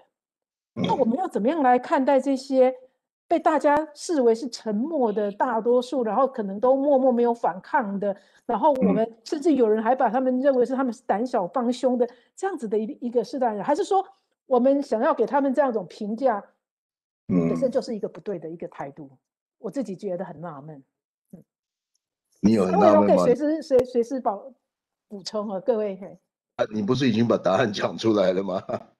你刚刚的一番的那个一番的陈述，其实既说了问题，也也说了解答了，不是吗？没关系啦，我就配合你讲比较好一点。不是，我是我们都是好朋友嘛哈，各位这个欧台会不好意思哈，各位海外台湾同乡大家好，特别是欧台会这些朋友，好久不见哈，很想去德国，没有想到进步的德国现在那么惨哦，实在是，哎，台湾全世界幸福。台湾全世界幸福第二十四位哦，所以最近台湾非常臭屁哦。OK，所以以后应该回台湾开哈。OK，可以可以。好，那我回答你的问题好不好？就也不要说回答，我提一下我的想法了。不够勇敢哈，我等下听那那个讲说不够勇敢呐，什么什么的。呃，这个问题我觉得根本就是假问题，不是问题。你先想一下，今天影片反复在提到一个时间点嘛。他什么时候进去台台大图书馆工作的？一九四七年二二八之后啊。嗯哼，所以你想想看嘛，二二八之后那个不是问题嘛？大屠杀，大家知道二二八，中国民党对台湾的屠杀跟恐怖不是，不是停止于二二八，是始于二二八，二八只是一个开头。二二八清乡从头从北到南杀了一遍，那共开能蛮能蛮难为啊。接下来一直到一九五四年中间，又有一段专门杀所谓抓地下党、抓台共或者抓这些白色白色恐怖，又又又抓了不知道多少人，然后至少有一万个人被我们目前知道有有记录有将近万上万人是判死刑，还有很多是根本没有审判记录就杀掉的人，所以那是一个大屠杀、大恐怖的年代。迄个时代就是讲的比什么勇敢了，骗人的唔捌。你懂我意思吧？就是说，我们对我们不要轻易的对这些历史上前辈做出这种判断，这种道德上或历史的审判哦。我是认为说，在那个那样一个非常的极端的情境底下哈，事实上你不应该用一个自由人，你身处自由时代、自由地区的人那种角度去去要求他，这是第一个。换句话说，已经大家被杀杀了，换句话说，基本上有勇气的全部被杀光，不然就被抓去关了。这个时候就好像现在的香港嘛，二二八也是一次大逮捕，不是吗？然后现在国安法以后，难道你要每个人都去冲吗？对不对？所以讲这是第一点，不是问题哈。我认为哈，那到底应该怎么办呢？当时面对一个新的黑暗时代要来临，一九四七年二二八是台湾战后，你可以说四十年黑暗时代的开始。嗯哼这有谁会想到会经历四十年漫长的寒夜，对不对？嗯哼这就是说，到底该怎么办？哈，老实讲嗯，这是一个很实际的问题啊。我的看法是分工啊，嗯哼我喜欢用两个适龄人来比喻，一个适龄人叫做史明，另外一个是史明他们家的邻居叫曹永和，这两个人对一能一能一种属灵囊嘛，那个触逼嘛，是这样的现在。可是，在二二八之后，他们两个做了很不一样的选择啊。史明呢要上山打游击，不是吗？然后后来决后来后来失败，后来就决定逃到日本，逃到日本之后，他直接公开就选择直接跟他抵抗。哦，所以说勇敢呐、金勇敢嘛，苏元就勇敢嘛，对不对？哦，这是一种，可是只是一种选择。但是留在台湾的人，你要他怎么办呢？对不对？啊，你看曹永和从小就自就是一个温和的人，他是一个文弱书生。各位，你看那嗯个样子，他是站出来讲话，他也没有煽动力嘛。要煽动要像我这种，对不对？他也没有战动力啊。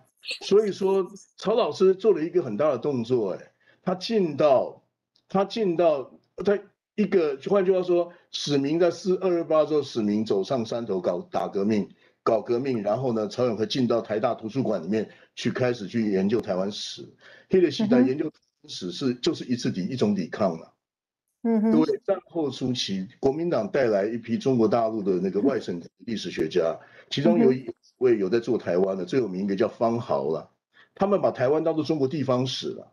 嗯哼所以刚刚就影片里面那个黄富山教授一直提到说，在曹永和之前，那些少数在台大做台湾史的人，台对，湾方好对知道。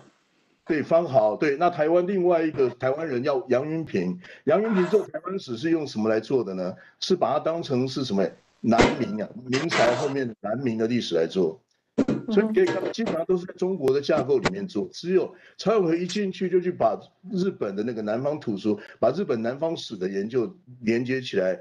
开创了一个海洋史，于是海洋史这个研究非常非常重要，因为什么你知道吗？因为它事实上把台湾从中国大陆的史观解放出来了，你就不需要大陆帝国角度看中国，于是你从你就发现台湾根本不需要跟中国，你不用中国历史来解释台湾，它从整个从十七世纪、十六世纪的那个所谓的大航海时代的嗯世界史来看台湾。台湾在和中国产生关系之前，最初是跟世界先产生关系的。这个观点是曹永和搞出来的。嗯哼啊，他那时候可能也他也没有想的那么清楚，也不一定啊。但他心中有台湾，不是吗？曹永和是老曹永和第一本书就是《鹿皮贸易》哈。我跟你说，他十几岁的时候在读台北二中的那个中学部的时候，他们在士林协智会啊，在士林在芝山岩搞了好几次关于那个台湾民俗的各种那个各种活动。这一批包含那个白色恐怖的郭秀忠等，当时台大、台北地大二，他那个台北二中一些在住在士林的一些非常杰出的台湾年轻人，他们组织士林协智会，整天都在推广台湾文化。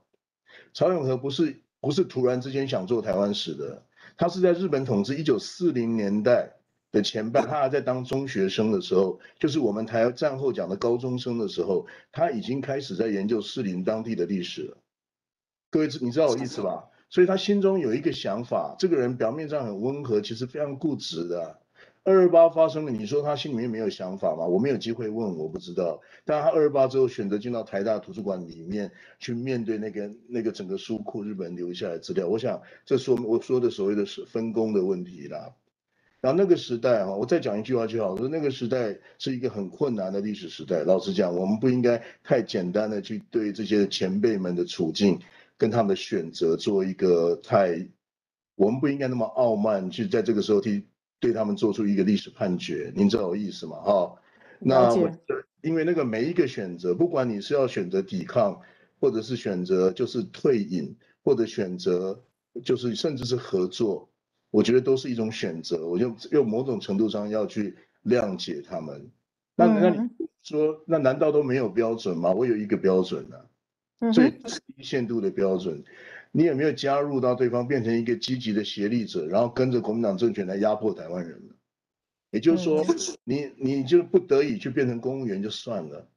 你有没有积极的？你不只是你不只是没有，你就你不要抵抗就算了，你还积极的参加他们，然后还。帮国民党政权来压迫台湾人，如果你有做这种事情，我认为那就违背了我认为的那个最起码的底线。啊，这种人有没有？这种人很多嘛。嗯哼，对不对？我刚刚提到过二二八受害者家属吴伯雄，他们他的伯父受害，结果他们后来选择跟国民党合作啊。嗯哼，啊，连战家族不是吗？嗯哼，台湾有非常多人在二二八之后决定，不止决定跟国民党合作，而且积极的合作，反过来压迫这个部分。部分就是我认为是无法不能接受的东西了，好不好？大概是这个样子，不好意思。像我们刚刚也也听到，像詹素娟老师，你说你们学历史的经过哈，虽然您的舅舅是舅舅嘛哈，没有非常清楚的讲出这这些呃，就说为什么会会会这样子，或者是白色恐怖时期的一些经历，但是他也是非常期望他的外甥女。可以走上历史的路，然后去了解这个时代哈。我想，这这个时代的台湾人，他们用非常多不同的方式在抵抗哈，或者是说，抵抗抵抗是什么？啊，呃，我我想，我台湾人用非常多的方式在抵抗哈。像像我觉得，像立贵导演，您您从您刚刚提到您拍纪录片的这整个流程，其实你们那个时代也是一个抵抗的时代。你们那个时代，我想要出来参加社会运动，啊，都是一个都是一个非常危险的事情，哈。那呃，而且你们刚开始才参与的时候，也是台湾还没有完全解严的时候嘛，啊。然后你们用纪录片的方式，呃，那个已经已经解严了，已经解严了。对对对，我回国已经解严了，对。可是你后来还其实白色恐怖还是在心中了，还是在心中。对对对，我我我记得我刚回国的时候，然后那时候跟一一群年轻人，他们在搞小剧场，然后我们是帮那个呃帮一个摄影团体，我们去演一出戏，然后在那个苏蒙地两冠了，因这点笑人的，因因可能是他们心中就那个呃束缚就比较没有像我这么深了。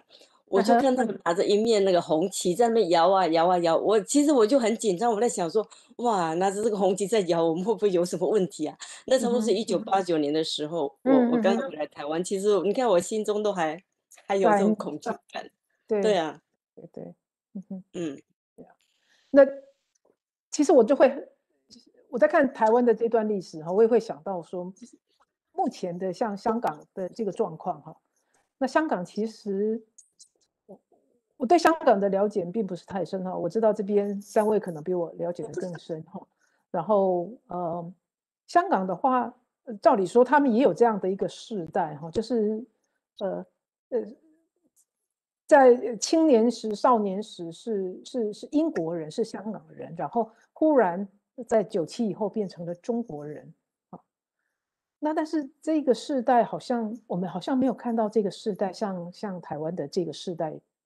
呃，有有这么多的反抗运动，那反正现在出来反抗的运动的是比他们年纪小非常多的是，甚至是从来他们一出生之后就是中国政权的这个这个世代哈，然后他们的呃现在所遭受到的整个的压迫跟整个的大逮捕啊，哦，然后国安法哦，然后送中条例，那他们的状况的话，我感觉上跟台湾那个时候发生二二八的时候是是很像的哈。后来的话就越来越越那个那个呃制制那个那个枷锁就锁得越来越紧哈。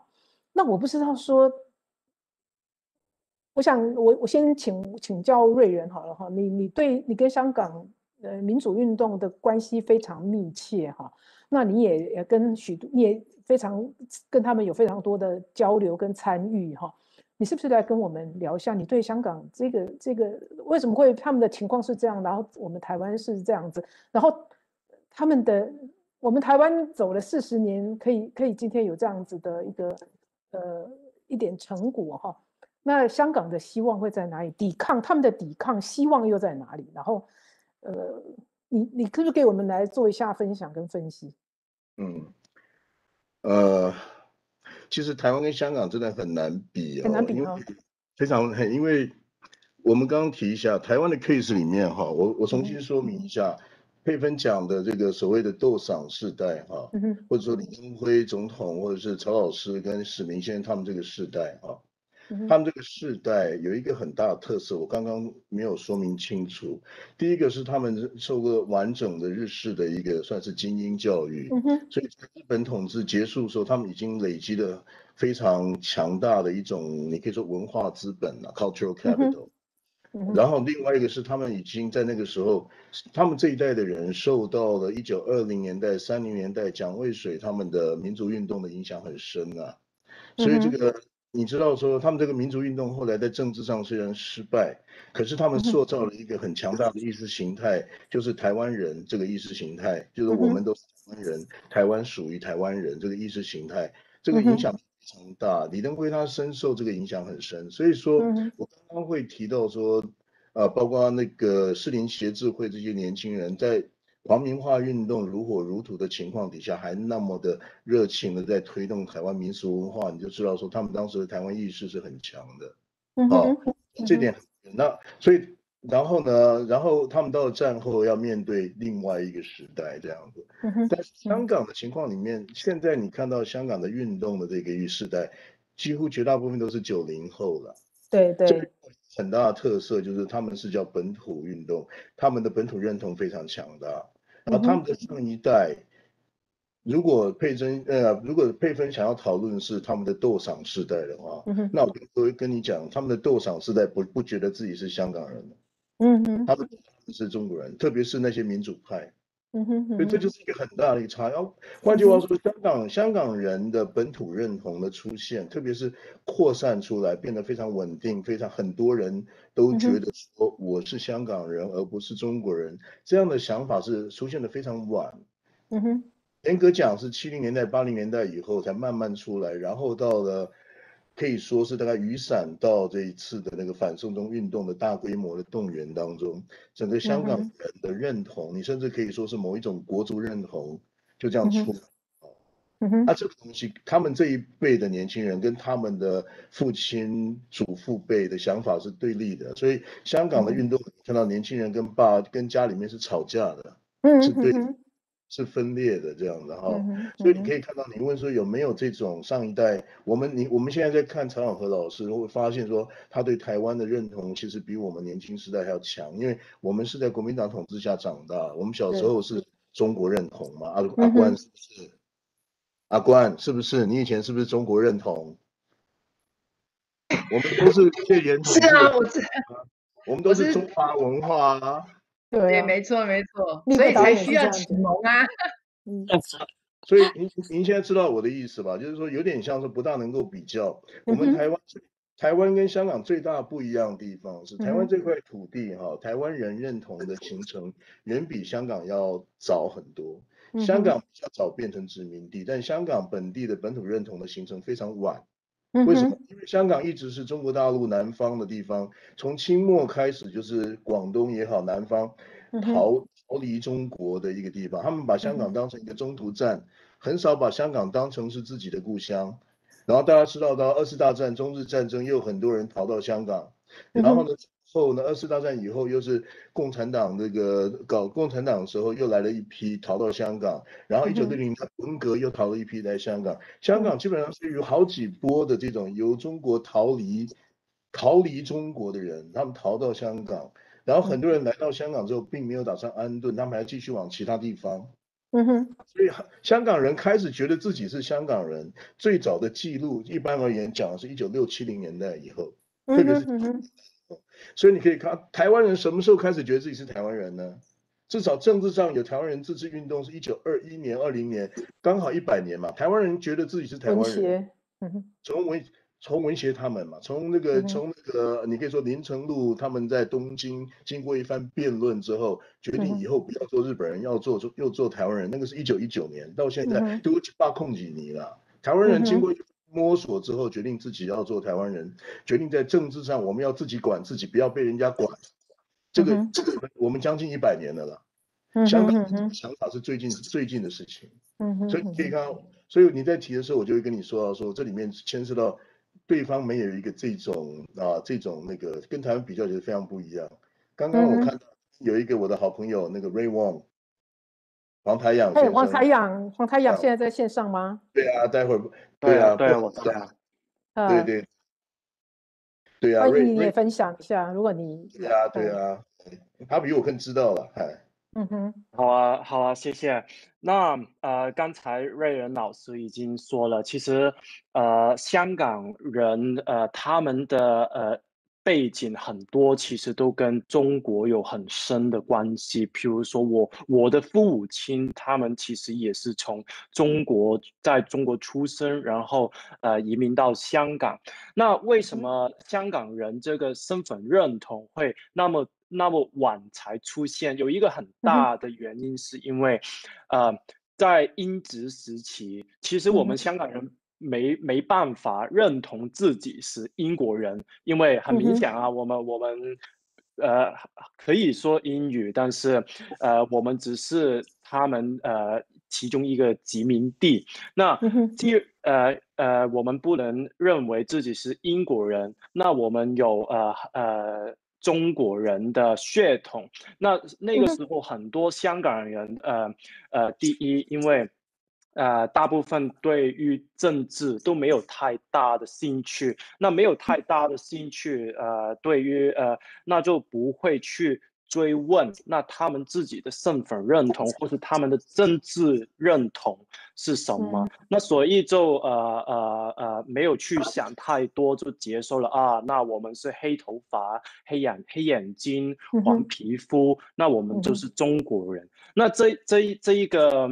呃呃，现象一直一直维持到大概是二零零八年的时候，其实就是一个高峰。那那个时候因为北京举办奥运，那呃在那一年有一个呃香港大学的呃呃对于身身份认同的呃民意研究，那大部分的香港人。超过呃七十个 percent 的人都认为自己是中国人，呃认认为自己是香港人的只是几只有几个几个 percent。那为什么在二零零呃八年到现在二零一一二年，在呃这十几年有那么大的变化？有其中一个很大的原因，其实就是呃在二零零八年之后。呃，越来越多的中国人来到香港旅游，还有就是呃，中香港跟中国之间的关系越来越多，那香港人就慢慢呃意识到，哦，我们原来真正的中国，真正现在的中国人跟我们所了解，我们从我们呃父母辈了解的中国有很大很大的差别。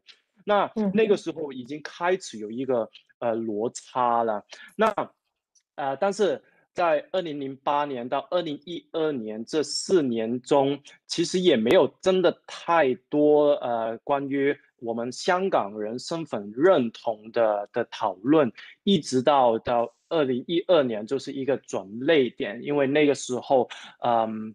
呃，很多的中国旅呃旅呃游客来到香港，有一个有一个事情发生，就是在尖沙咀一个很呃呃旅游景点，那有中国人在一个商铺门外拍拍照，那那个呃呃呃店员就走出来，呃跟中国人说啊，你们可以拍照，但是呃晚一点有香港人去拍照，那他们就说啊，你们不可以在这一边拍照。那呃就是因因为香港人在香港有。不对等的待遇，好像中国人还才是呃呃，在香港有呃好像有呃优待。那那个时候香港人的自豪自豪感就就被伤到。那呃还有很多就是那个时候也有一些中国的旅客来到香港，他们说啊，如果我没有我们中国人来香港的话，香港的经济就会呃垮掉了。那从那个时候开始，香港人就去回想啊，为什么呃，第一，我们呃的思想，我们的我们的文化有那么大的差别，香港人呃。最小，我们懂得尊重其他人。那中国人来到，我们也尊重他们。但是中国人来到香港，他们不会尊重我们，还摆出一副哇，我们我们是呃呃救你们的，你们需要，你们好像是比我们，对对对，你们好像是比较比较低等低等的。那嗯。从这一点开始，香港人就开始去想：那我们是中国人还是香港人？那那个时候就是呃，刚刚瑞仁老师提到本土派的的开始，但是其实呃，在初一一开始本土派发展的过程，其实有很多的。主力，因为呃呃，瑞恩瑞恩老师也有说到，大部分的民主派其实他们呃比较老一辈的，他们也认为自己是中国人嘛。那所以当然有诶一些年轻人比较比较激进的走出来说啊，我们不是中国人，我们是呃香港人，我们需要我们需要有一条呃呃清很很清楚的界限，呃去分开。中国人跟香港人的时候，就会有呃一些泛民主派的人走出来说啊，你们一定是呃呃呃 fascist，你们是呃排外，你们跟纳粹没有分纳粹没有分别。那那个时候其实就是就是整个香港呃民主阵营分裂的开始。那一直到二零一四年呃雨伞革命之后，呃这一个这一个分裂就更严重。那就那。二零一一五年有很多年轻人，包括我，呃，我们已经认为啊，呃，泛民主派的那一套已经不行了。那为什么我们不行？就是我们问两个最 fundamental 的问题：第一，就是我们是什么人；第二，就是香港现在的问题是在哪里？那是什么？那泛民主派他们的答答案。第回应第一条问题就是啊，我们是中国人。第二就是啊，因为中央他们没有呃呃呃很好的呃落实一国两制。那如果在北京的的领导人他们呃了解了香港的。的呃，香港人的的想法，了解了香港的的问题之后，他们就会尊重香港人。但是对于年轻人来说，那第一，我们不认为这只是中国人。那所以，因为我们不认为自己是中国人，我们已经可以跳出一个框架。因为如果泛民主派他们经常说啊，说到底我们还都是中国人，我们都是一家人，所以他们是不不会去想呃香港独立啊，或是跟中共有一个有一个比较对呛对抗性的的关系。但是香港年轻年轻人不同，那所以我们可以去想，可以去问为什么香港不能独立？那第二个问题就是。呃，对于他们来说的，呃，香港的政治问题核心是一国两制。那但是对于我们来说的。问题核心是因为我们在中国里面，我们没有自己的主权。那所以在二零一五年，呃，本土派问了这两个问题，我们有了自己的的论说。呃，瑞恩老师也帮助了我们很多，有呃香港大学的学生写了呃香港民主论。其实那那真呃。可以说是最重要的一个本土的论述。那之后就有本土运动的呃出现。那呃，我成立的政党本土民主前线，我们的候选人梁天琦就呃呃呃拿拿到很多香港人的支持，很多同情。那一直到二零一九年，呃，其实我可以说，呃，香港的民主运动已经本土化了，呃呃，因为其实还有大呃部分的泛民主派，他们还是会说自己是中国人，但是他们也认同呃香港的呃下一代香港的年轻人，他们不认为自己是。呃，中国人他们有自己的自由，这已经比五年前、六年前好很多。那呃，所以在二零一九年的时候，有一个呃呃，对于身份认同的民调，那一个时候只有九 percent 的香港人认为自己是中国人。那所以呃，在整个香港身份身份认同的变化跟建立。呃，其实就是随着一大批年轻的本土派走出来，他们尝尝试去冲击呃旧的那一套泛民主派的思想体系，然后就呃得在呃一轮一轮一连串的 discourse 之后，那这一个呃身份认同的建立就是现在的结果。这样听起来的话，好像。香港的整个民族的认同，或者是说香港的本土认同，反而是从争取自己的权利开始。你们不是说觉得说自己长得跟中国人不一样，不是因为肤色，甚至好像也不是因为语言哈，呃，但是是在你们争取民主的过程中，你们觉得要能够拿到自要要能够决定自己的命运，要争取自己的自己未来的前途，或者是争取自己的生活方式。所产生的这样子的一个认同，我我好像有这样子的一个感觉。然后我给他简单的那个那个，刚刚那个可把整个这过去二十年来香港人一认认同的很戏剧性的变化哈，做的很清晰的陈述，我就不多多补充，我只补充一点，是我作为一个政治学家哈。为说为什么会在这个时点出来哈？我想一个是长期因素了。香港从一八四二年英国的那个殖民地，事实上跟台湾在一八九五年一样，我们他们脱离了中国历史轨道，走了一条自己的历史。然后在英国统治下面，香港成为一个虽然香港人没有没有参政权，但是香港这个地方是高度几乎是半独立的了。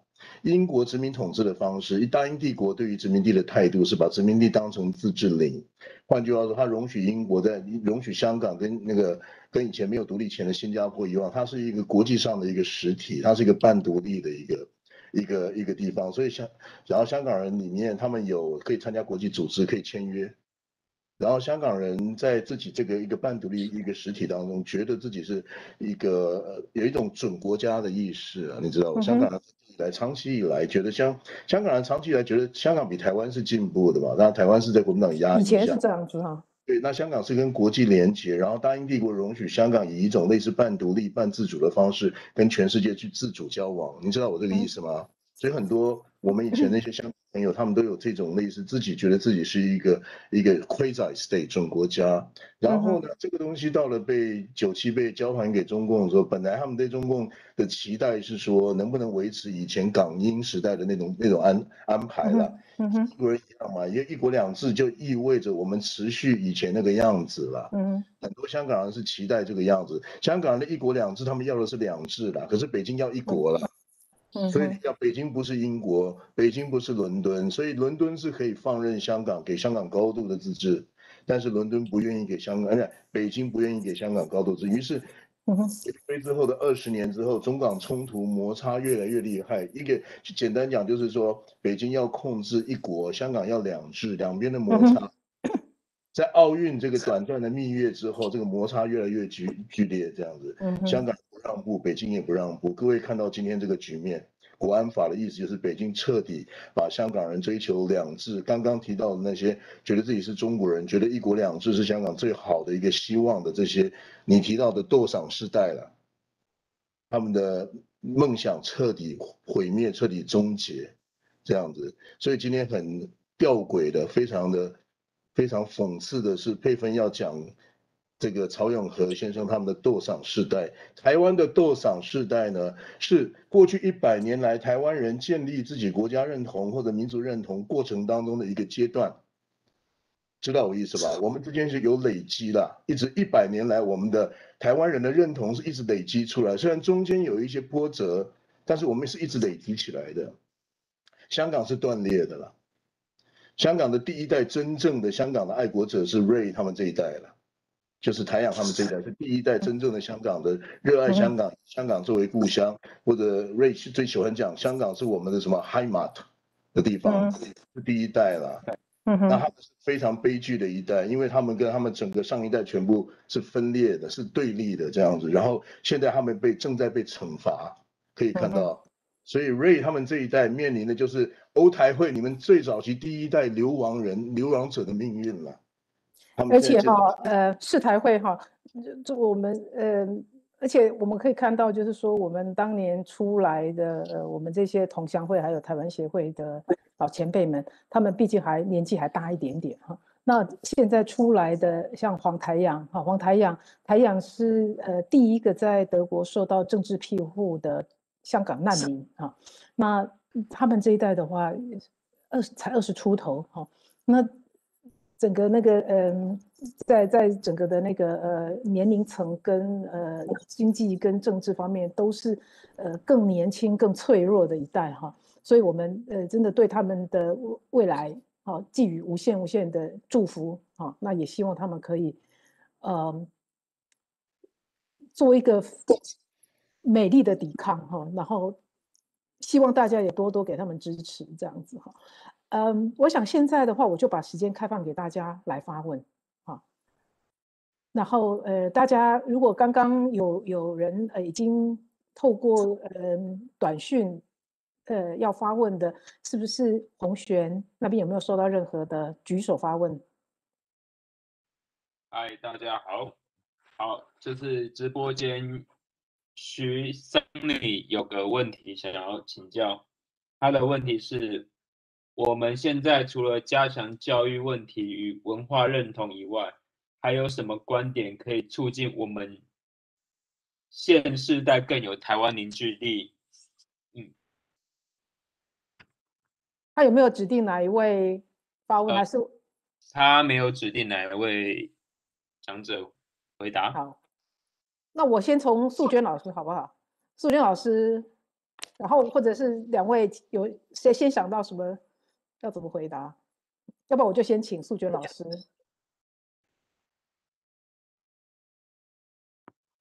呃，我想台湾目前面临的一个处境是，台湾实质上是一个听到哈，台湾实质上是一个国家。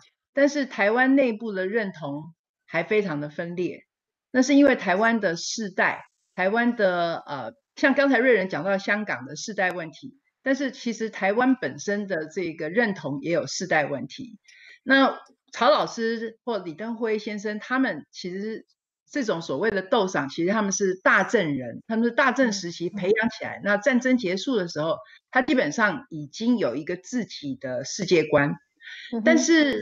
昭和世代的人跨到战后，那他们可能就会受到新政权、新的政治文化的影响，会很深刻。那战后婴儿潮的这个世代，就是像我们刚才提到，我们都是所谓的党国教育培养起来的人。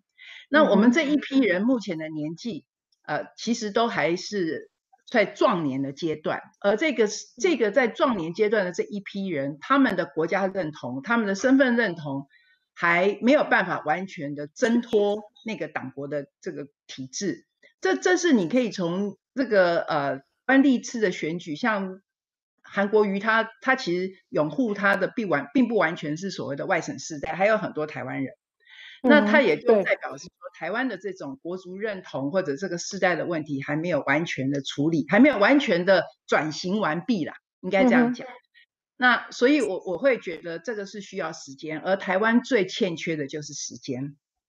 所以，我我我知道，在这个历史转折点当中，在这种时间很紧迫的情况下，如何能够让台湾的内部能够在国家认同早一点达到一致，然后呃再加上呃这个台湾的经济啊，就是早期的台商的经济被中国所牵制，而造成的这种利害利益上面的这样子的一个一个一个绑架，那这些东西可能是眼前我我自己个人觉得在眼前的台湾是一个必须要及早去克服的问题，但是我不知道像瑞仁跟立贵针对这样子的现象，会觉得有什么样比较有效的策略可以去去处理？嗯，两位哪一位先回答？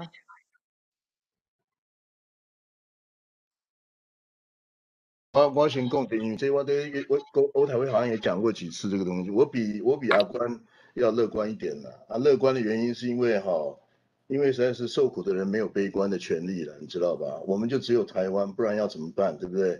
台湾很多地方，它作为一个 nation state，作为一个主权国家，就如同阿关讲的，在大概至少是战后时代，我认为最 screwed up 的时代是大概六十几岁以以上的这一批了啊，就受国民党最影响最深的这一批，这一批大概是最糟糕的一批。那这一批的话，哈，这一批。要等时间过了哈，但是整体来讲，我你可以看到九零年代李登辉总统开始推跟推民主化的过程当中，你注意到说，首先旧政权里面的那些所谓外省的，像赵少康他们先搞新党。开始起来要反击，也就是说他们不愿意接受本土化，他们要反击，出现新党，于是蓝绿冲突隐藏的背后的省级冲突开始出现。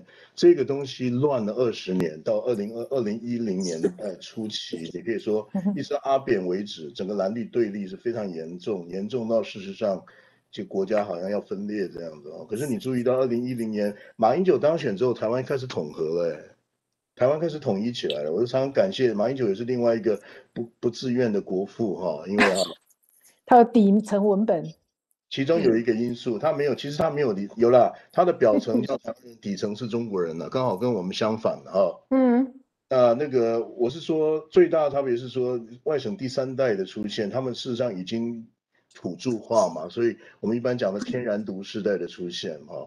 那个是非常明显，天然毒世代跟 Ray Wang 他们那个时代是同一代的，九九零后的，在八零末八零年代后半到九零九零前半九零后这样的这个时代，他们都同样经验力非常明显的把台湾理所当然认为是一个主权国家哈这样一个时代，然后这些这些年轻人大量的参加了二零一大概从野草莓以后将近十年来的台湾的公民运动社会运动，对，就是说很多外省第三代都。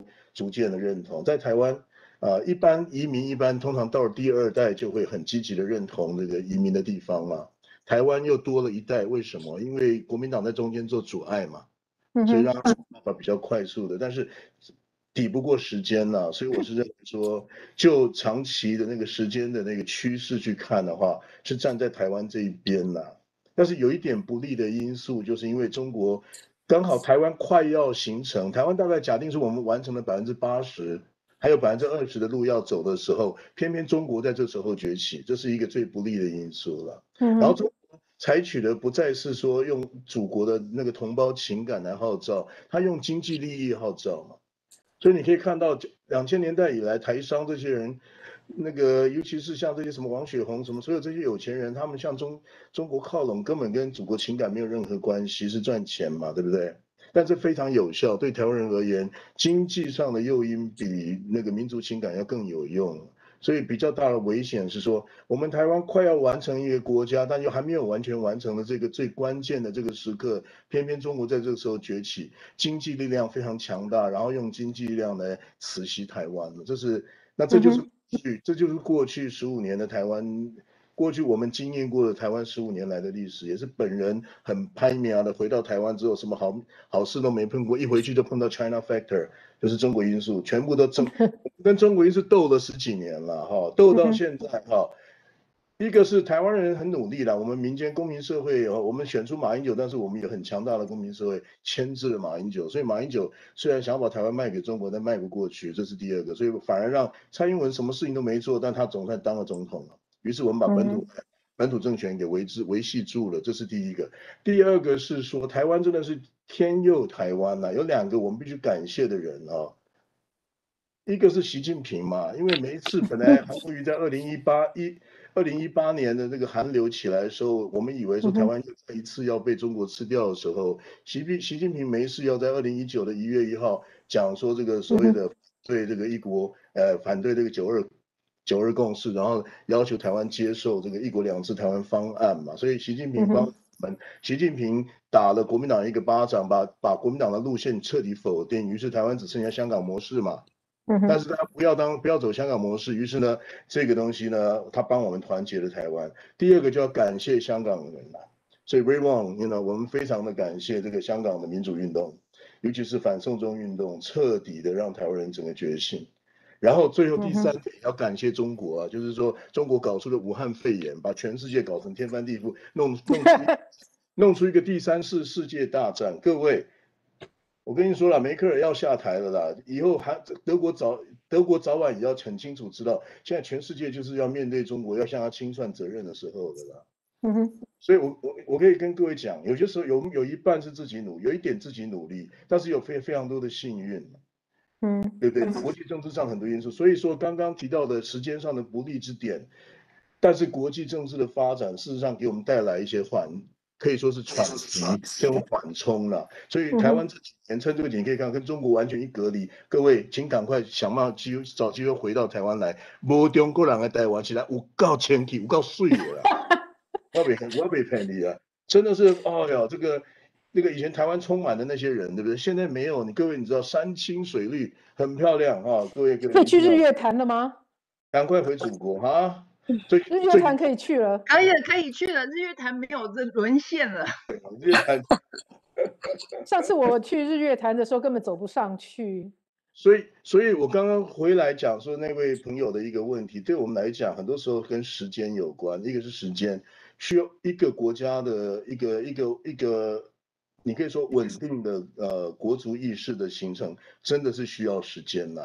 那我们稍微有一点历史感来看，今年是二零二一年，文化协会在一九二一年成立，今年刚好一百年。你用一百年看，台湾人真的是追求了一百年才追求追求出一个样子，对不对？而且还没有成，而且很不幸的，我们一百年的最后这一段刚好跟中国崛起的时间是重叠的嘛。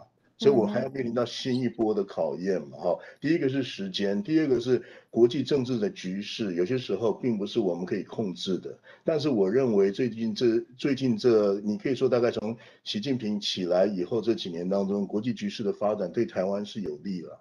嗯哼，我认为说新冷战这个结构相当时间内不会变，已经开始稳定下来了。哈，我们从来没有看到一个崛起中的强国的外交官在全世界跟人家吵架的。哦，各位可以注意到这一点，那种战狼外，是完全不可置信、无法理解的。啊，对对对，一个，所以这说明什么东西？它还没有崛起，就正在衰落了。嗯哼，全世界的围堵之势也已经形成了，所以在这种情况底下，其实对台湾是有利的。所以我是说，这是台湾是很多因素凑住造成这个样子的哈，所以台湾也算有幸运。然后第三点是因为台湾人非常努力。我们非常努力，把做一些好事情嘛，比如我们把民主体制维持的很好嘛，对不对？然后你看我们这一次的这个防疫做的那么好，对不对？嗯。现在台湾最近的所有的全世界各种排名都是都是名列前茅。现在你说台湾不是一个国家，没有人会信嘛。嗯。这个东西也是一种 nation building 跟 state building，我们正在进行。那我个人从这几个角度看，是觉得说。中国因素当然还是一个很大的考虑，但是我认为相对我是比较那个啦，比较乐观，因为整个的局势哈看起来对我们是相当有利了。哦，当然不是，我希望大家乐观一点的哈，这样子爱怕变爱有耐心的哈。OK，谢谢。然后我们当然也是，我们台湾有非常多努力，非常努力的。不管是用纪录片方式，用历史教育，然后用社会运动跟政治学的研究，呃，大家一起非常都，我想大家都非常努力，包括我们今天在场的一些前辈们哈，呃，我想这都是维系住我们台湾今天现在这样民主的体制的一个非常重要的一些因素哈。嗯，还有其他啊？加一句就好。我加一句就好哈，我不是我没有要选举，所以我以下讲的话大家不要担心哈，我不会双 key，你就别给他 U 票，我是被波点嘛，因为 Ray Ray Ray Wang 也在，我要特别强调一句话，我曾曾经讲过说台侨是独立之母了，嗯哼，所以我没有我忘了跟你讲，就是因为我们台湾有一个非常强大的海外台侨的共同体了，这个东西形成一个很重要的一个支撑了。所以台湾在国际上到处都有人在替台湾讲话，有很多是我们台侨善开枝散叶在世界各地的台侨，在每个自己的寄居国在为自己的祖国讲话，在奔走。啊，我把我们这个台我们海外台湾人在战后几十年这个努力，事实上是台湾今天能够形成一个民主国家很重要的一个助力。我把这个故事呢送给黄台仰啊，还有送给所有这些年轻的香港的流亡者啊。啊，你们就扮演了这个角色，哎，嗯，谢谢谢谢。我们现在还有其他人要发问吗？同学，你那边还有其他的题目吗？还是现场还有其他的人？呃，直播间没有人提问了。OK，嗯，现在要有人还有其他的问题吗？或者是想要分享一下？像那个燕琪有。问题想跟老师们请教，那燕琪要不要直接跟直接开麦克风跟老师们说？哎，燕琪，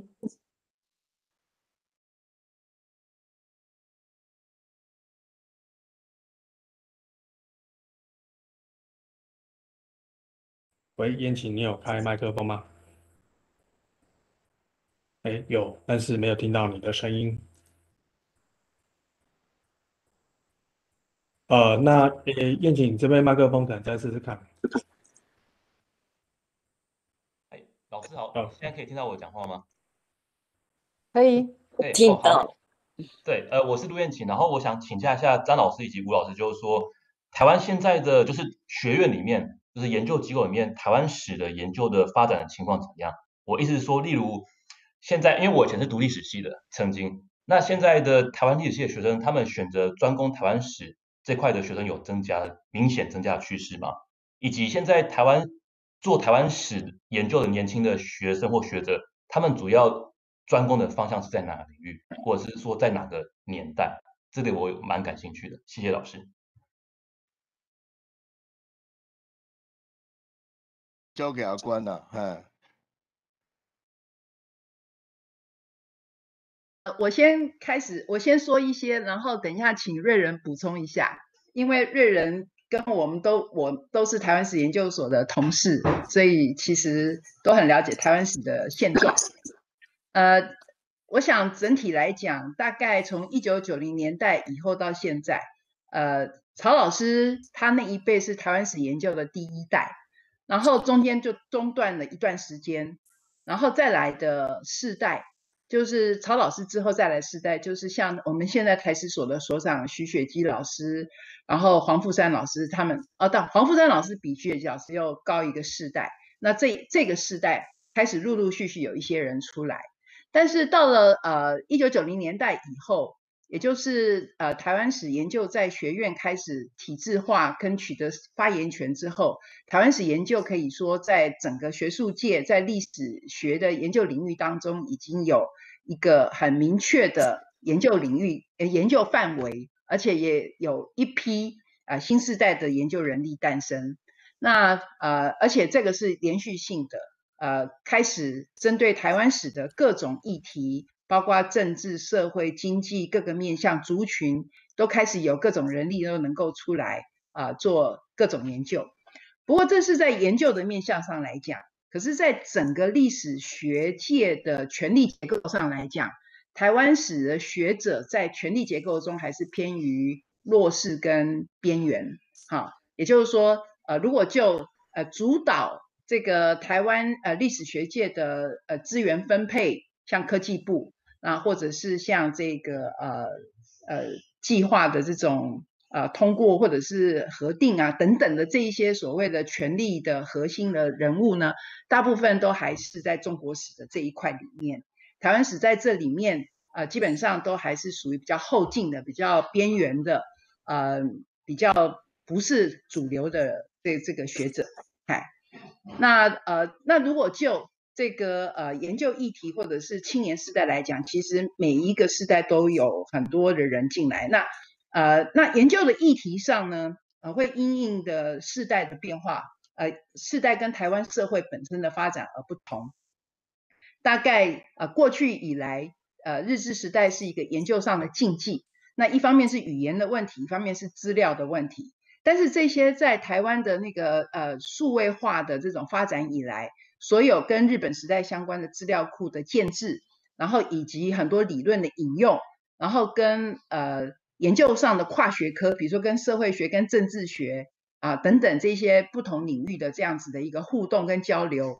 那所以日治时代的研究可以说是目前台湾史研究当中的显学啦。好。然后呃，但这个换句话说，任何一个研究之能够有发展，其实都会跟它的资料的呃建制，跟它资料的开放性，跟呃它跟呃学术界或跟国际或者是跟其他学科的互动交流的程度是有相关的。那所以像现在像这那有瑞人在，那台湾政治史就开始会有一批人会因为受到瑞人的影响而开始有一些学生。然后开始针对政治思想或国家认同啊、身份认同这些事情，会开始投入研究。所以这其实里面有这样子的一个交错在当中。好，所以我只是初步先做这样的一个说明。然后瑞仁，你要不要补充看看？呃，其实因为燕琪问的主要是这个呃历史系的哈，然后因为我虽然有去教书，我都不在历史系教书，所以所以哈，我都是在政治系或者是清华啊那个人社。各位，我现在我现在在台北艺术大学教书，哎。我是北艺大的那个讲座教授，我现在跟一一群艺术艺术界人士为伍，这样啊，所以都对这个台湾史的呃教育都没有没有没有那个积极的贡献，这样的非常的抱歉，这样哈。不过我的观察是啊，其实年轻世代读台湾史的人不是不是那个，其实并没有那么，其实还蛮多的啦。我看到是一代一代，目前看起来哈。呃，我在十几年前回来的时候，我们这一代被称为呃青壮代。经过十几年后，现在已经下一代出现了，也就是大约 early forty 或者是 late thirty，三十几岁到四十出头这一批。啊，有有一批他们已经出来，然后也开始进入学术体制里面，然后他们也有自己的一个研究方向，所以也已经看到正在形成这样。这个换句话说，一个一层一层的的形成，并没有真的断裂了哈。我有看到没有断裂。那但是比较大的问题是说，你呃，比方说师大也好，我们有很多台史所。但是问题是说，毕业如果你不打算读博士的话，你只是读硕士，硕士读完之后，你的未来的工作的那个，你到底在哪里可以靠台湾史吃饭？这个问题始终是一个问题了。所以说，很多年轻朋友非常有有非常有潜力，写出很好的硕士论文，但是他不确定自己能够啊在这个领域里面找到工作，因为呃学术领域的工作是是有限制的，它是一定的限制这样。所以说，然后台湾的整体的文化的产业里面的台湾这一块，已经有扩大，已经有比较多，但是没有那么，还是没有多到说可以吸收所有这些也读台湾的人。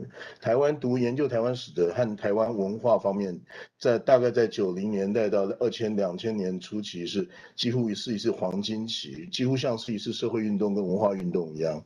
你到各个大学看，什么台湾台文所、台史所，整个形成一个非常巨大的一个一个一个产业。这批学生后来成为学生运动里面一个很重要一个领域，也就是台湾意识本土运动一个很重要的一群生力军这样子。但是这几年来，他们有一些 decline，原因跟呃我们整个台湾的文化产业体制跟教育体制里面不容易吸收这些人才有一些关系啦。所以这个部分恐怕需要叫要看看能不能再找到呃，不管是透过民间或者是官方，可能要再帮他们找一些呃可能的机会这样子。其实现在年轻时代，现在台湾，尤其是像这个现在把台湾史通俗化的情况是非常非常的普遍。现在台湾有一批这个狂热于这个狂热于日治时期的台湾史的一些年轻人啊。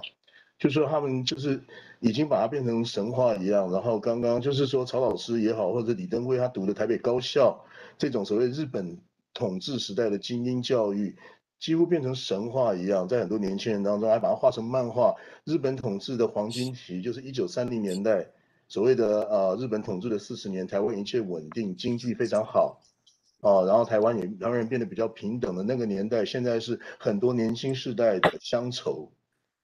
然后他们会非常喜欢，所以他们特别喜欢去台南了，去林百货了，或者去看那些旧旧的日本建筑这些东西这样的哈。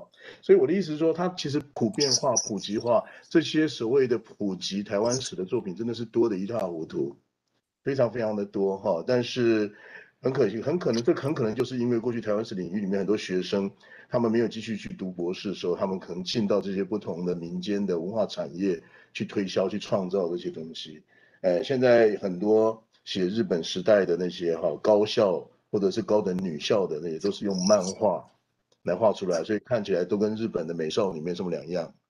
哦，现在已经已经它扩散，它整个的扩扩散普及化是非常普遍了这样子。但是我觉得有一个限度，所以我们必须想办法替这些想要读台湾史的年轻人找工作才行啊，对不对，阿关？不过。对了，我我如果一个一个学术太过通俗的话的话，的确是怎么样？但是我还是要替林百货讲一句话，林百货实在是一个很不错的地方，这样。嗯，我也觉得很不错啊，没有错，很不错。对啊，对啊。所以我们身为台南人的话，还是捍卫一下林百货好。然后前一阵看了台南的工会堂，真是太漂亮了。嗯嗯嗯哼，这太漂亮了，对。嗯嗯嗯。我我跟呃。我们还可以讲很久哈，如果讲到台南的话，不过我想先，我们还我我们晚上我刚看到还有人提出问题哈，嗯，而且是蛮严肃的问题，应该是冠伟吧，是吗？下一个是冠伟吗？是冠伟提的问题，那冠伟自己来提好吗？好，就是现在我是冠伟，大家好，我其实在德国念台湾史，那我提了两个问题，我但我想就。精简的问，第一个问题是，呃，其实，在呃一九，我如果就我所知，一九二零年代、三年代，在海外的这个有主体意识的台湾人，其实跟当地的政治，尤其是自由派，甚至是跟这个呃所谓的左派有很密切的合作的倡议。那当然，战后的这个历史，他也呃不去赘述，但想说想请教老师说，在这样的历史脉络里面，有没有什么就现今的我们是可以参考的？那第二个问题会是我们今天谈论的是曹永和老师。那刚刚像呃张老师也提到了这个大政治势能的概念。那想好奇的是说，在就以台湾来讲，在大政时期的这个知识人的这样的一个世代来讲，一个阶层一个世代来讲，说有没有一个呃所谓的隐藏对话？因为今天我们的题目是隐藏文本嘛，有没有这样一个隐藏隐藏对话的命题所在？这是我想提出两个问题。谢谢。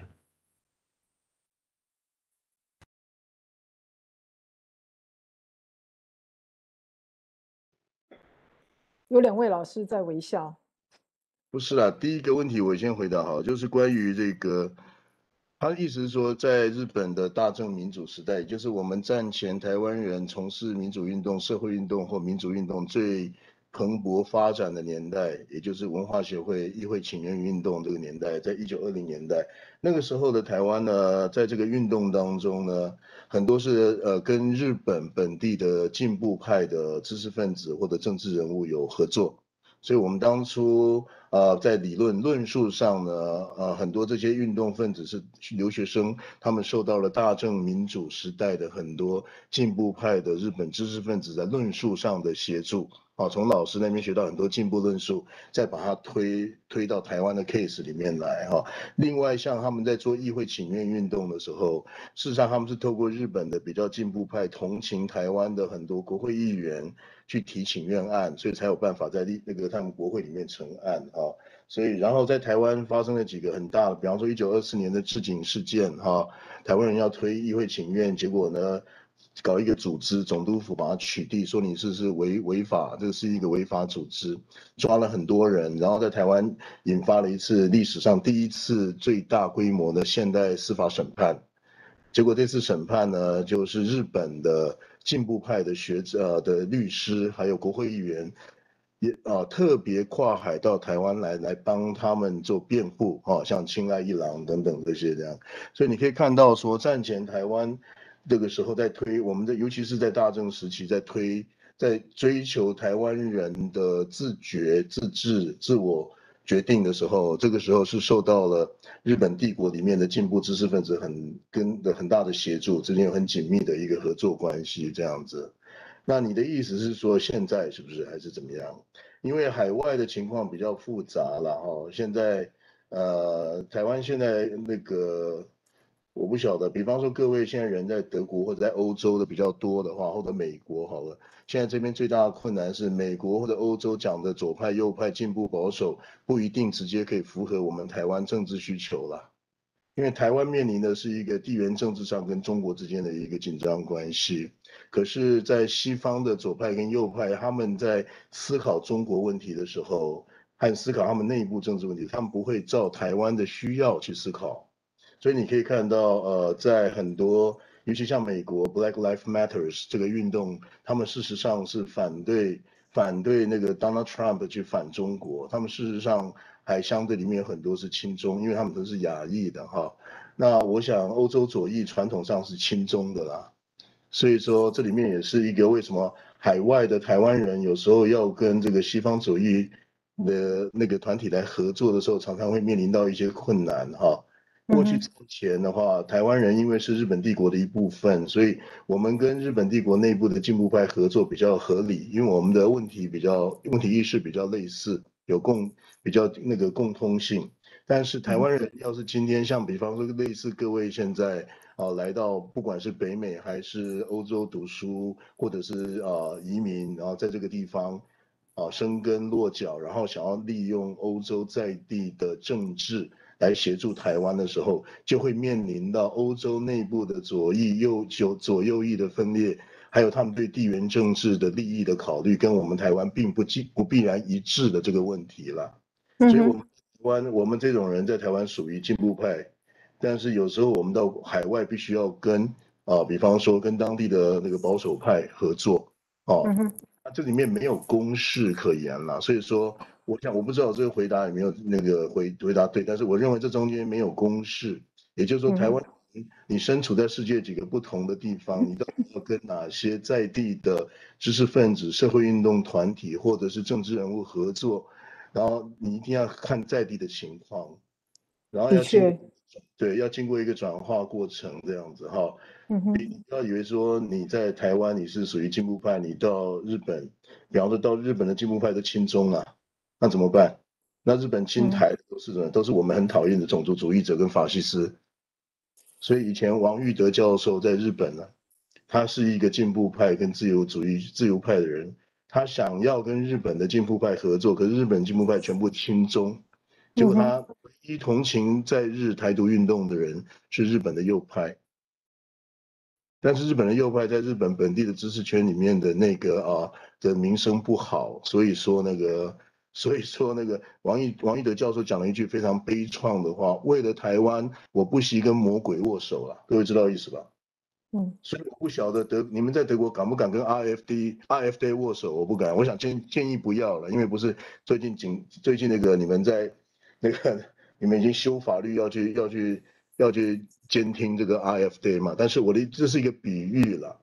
到底台湾的我们台湾在国际地缘政治上我们的位置，我们要追求自主，这个这个这样的一个目标，跟你居居你寄居国里面内部的政治之间要如何去去寻找出一个 common ground，这可能是每个地方都要做当地特定的思考，才有办法得出来一个结论，没有办法用一个单一的一个公式这样子，哦，大概是这样子。不过我我想补充一下，就是刚刚那个瑞仁你讲到 common ground 的这个，就是说要怎么去找出这个 common ground，的这的确是一个，我觉得是一个我们未来应该海外台湾人要继续努力的一点哈。就像刚刚说的，每一个国家都不一样哈，每一个国家的呃呃情势都不太一样。那像我们看到美国的话，有有我们有非常多的呃，就说我支持台湾民主的人，支持台湾。呃，这些其实可以，甚至可以说进支持台湾进步议题的这些民主的人士，他们也在支持呃 Trump 哦，可能就 Trump 他的话，他本身的一些一些议题，其实跟台湾的一些议题其实是相相相违背的哈。但是就是说，还是有非常多人支持川普。那像在我们欧洲这边的话，其实。呃，讲到 RFD，就是那个嗯 R F Day，呃，另类另类，呃，德国另类党哈。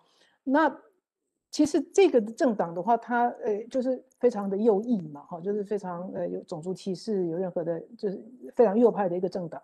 其实这个讨论的确是有曾经有过这样子的讨论。如果他们支持台湾的时候，我们要不要要不要跟他们一起合作？哈，呃，这个问题的话，出现在任何的层次都有，民间跟跟其他的层次都有哈。那像像这样子的讨论的话，的确是我们应该要思考的。就是说，我们今天的话，我们要我们要进行再进一步推行我们的改革运动，推行我们的政治运动，推行我们的台湾民主社会的运动。我们应该要怎么样去去找出这一条道路？我们应该要怎么样让大家知道说我们的 common ground 在哪里？我们的共同价值在哪里？我们的最低底线合作的底线在哪里？不过，我想今这个当然不是今天的议题，但是我觉得非常值得我们所有的海外的台湾人来思考这个问题。好，那我不知道刚刚这个问题有没有哪位老师要再补充一下？还是冠伟你自己好，你的问题是不是已经被回答？呃，还还是你还有什么想要问的地方？呃，谢谢老师。嗯，我想稍微补充一下刚才冠伟提的问题。其实，因为呃，我们在讲曹老师有表面的文本，有所谓隐藏的文本，或者，但是其实曹老师虽然表面上看起来很温和，但我们还要考虑到，其实人在公领域跟私领域，他会有不同的表现。然后呃。他在公领域的时候，为了生存或为了跟人家相处或为了一些什么样的原因，那他可能会呃展现某一个面相。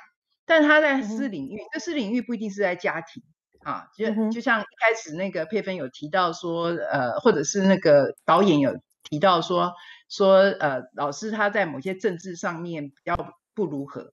可是那其实就好像我所研究的平埔族群，那。他们对自己的身份，他们对自己族群的历史记忆，也不太会跟自己的小孩讲，因为对他来讲，他在世代的变化过程中，他可能会希望保护他的下一个世代，呃，不要谈某些东西，对他们来讲比较安全。可是他可能会对呃同一个呃族群圈的人，或者是同样身份的人，他可能可以开放他自己的某一些比较内在的东西。所以，我我想。呃，这里面还会涉及到他在什么样的场域当中，他会出现什么样的面貌。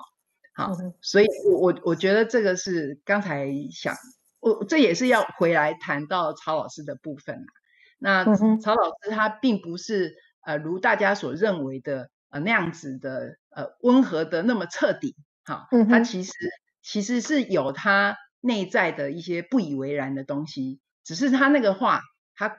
可能在什么样的情况下才会说，或什么样的对象他才会说而已。嗯哼，用非常技巧性的方式传递，把这个消息传递给下一代，可以这样讲吧？呃，或许是吧。刚刚好像瑞仁还有补充是吗？呃，因为冠伟有提到所谓的呃，是不是大正那群大正后期世代之间的对话，是不是？是不是好像提到这个？我我想我提一点了啊，就是你，我刚刚刚，呃，那个立贵也提到，我们都有提到，就是李登辉，呃，曹永和在讲那些话的背景，他打破了几十年的沉默，然后突然间讲出台湾岛史，突然间讲出自由民主的生活方式是台湾历史的归区，这种话以前他都不会讲了，你知道哈？历史学家跟政治学家最大不一样的地方，历史学家不大不大讲政治，哈，是说真的，因为他们是对很很谨慎，对文本、对证据各方面非常谨慎，所以这学科的训练会有时候导致他的比较严谨。但是曹老师在九零年代好像整个喷，好像火山爆发一样的很多他的这些呃本土意识，还有台湾的民主。政治民主民主意识、自由的追求，这些所有的这些政治意识，好像这样整个爆发出来。这个时间点刚好是李登辉总统的时间点。你必须，我想，然后你可以把，然后你记得九零年代中期的时候，李登辉跟那个彭明敏在竞选总统之后，曾经有过一次两个人的对谈。我记得是在更新文教院，两个同世代的台湾最杰出的两个知识分子。的对谈，那是一个我那时候人在台湾，但我有看到那个新闻。那你可以看到那一个整个世代哈，就是说日语世代，特别是受过比较完整的日式精英教育的那批世代，他们是很骄傲的一群人，他们有高等知识，他们有世界观，但他们在国民党统治下面被迫沉默。不敢讲话，他们压抑了几十年，到了一九九零年代，整个爆发出来。所以，如果冠伟在问说他们这一代的对话，我就告诉你，九零年代的民主化里面，你可以去注意到那些那一辈日语世代之间的人互相的对话是非常明显。所以，李登辉为什么跟彭明敏竞选总统，但两个人不觉得是弯修郎呢？各位有没有注意到这点？李登辉跟那个彭明敏选总统的，一九九五年那一次选的，九六年选总统是你注意到？后来那个彭明敏是只拿了二十五 percent，李登辉拿了五十 percent。后来呢，彭明敏他们非常高兴，说我跟李登辉加起来有七十五 percent，那台湾党绝大多数哎。嗯哼，各位知道我的意思吧？就是说那个时代他们有一些共享的价值了。他们他们在大概战战争结束的时候，然后事实上已经形成一个呃一个简单讲，他们的整个的教育养成教育都完成了。他们有价值观，这个价值观后来。在国民党的连续殖民底下被压抑下来，所以所以那个他们比大家都有隐藏文本，然后到了一九九零年代，整个爆发出来就可以对话啊。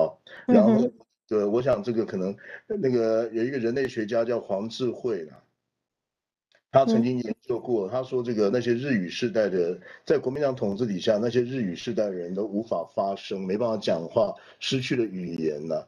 他把他们这个世代称为什么？称为一种叫 subaltern，就是所谓的底层阶级，被剥一整个世代被剥夺了语言。他们明明受到那么好的教育，获得了很丰富的文化资本，却在国民党统治的前面的四十年里面完全的沉默，然后变成被歧视的人，被自己的子女跟孙女、孙子孙女歧视的人，这样。他们到九零年代整个爆发，所以我我想建议说，或许这是一个思考方向。九零年代的本土化的领导人、领航人是李登辉他们这个时代，就是大正民主、大正时代出生的这群台湾人哈。你看一下这个时代，那他们之间那个时代很多时候众声喧哗，其中很重要的一个主调就是那个时代的台湾的同时代台湾人之间的对话，这样子啊。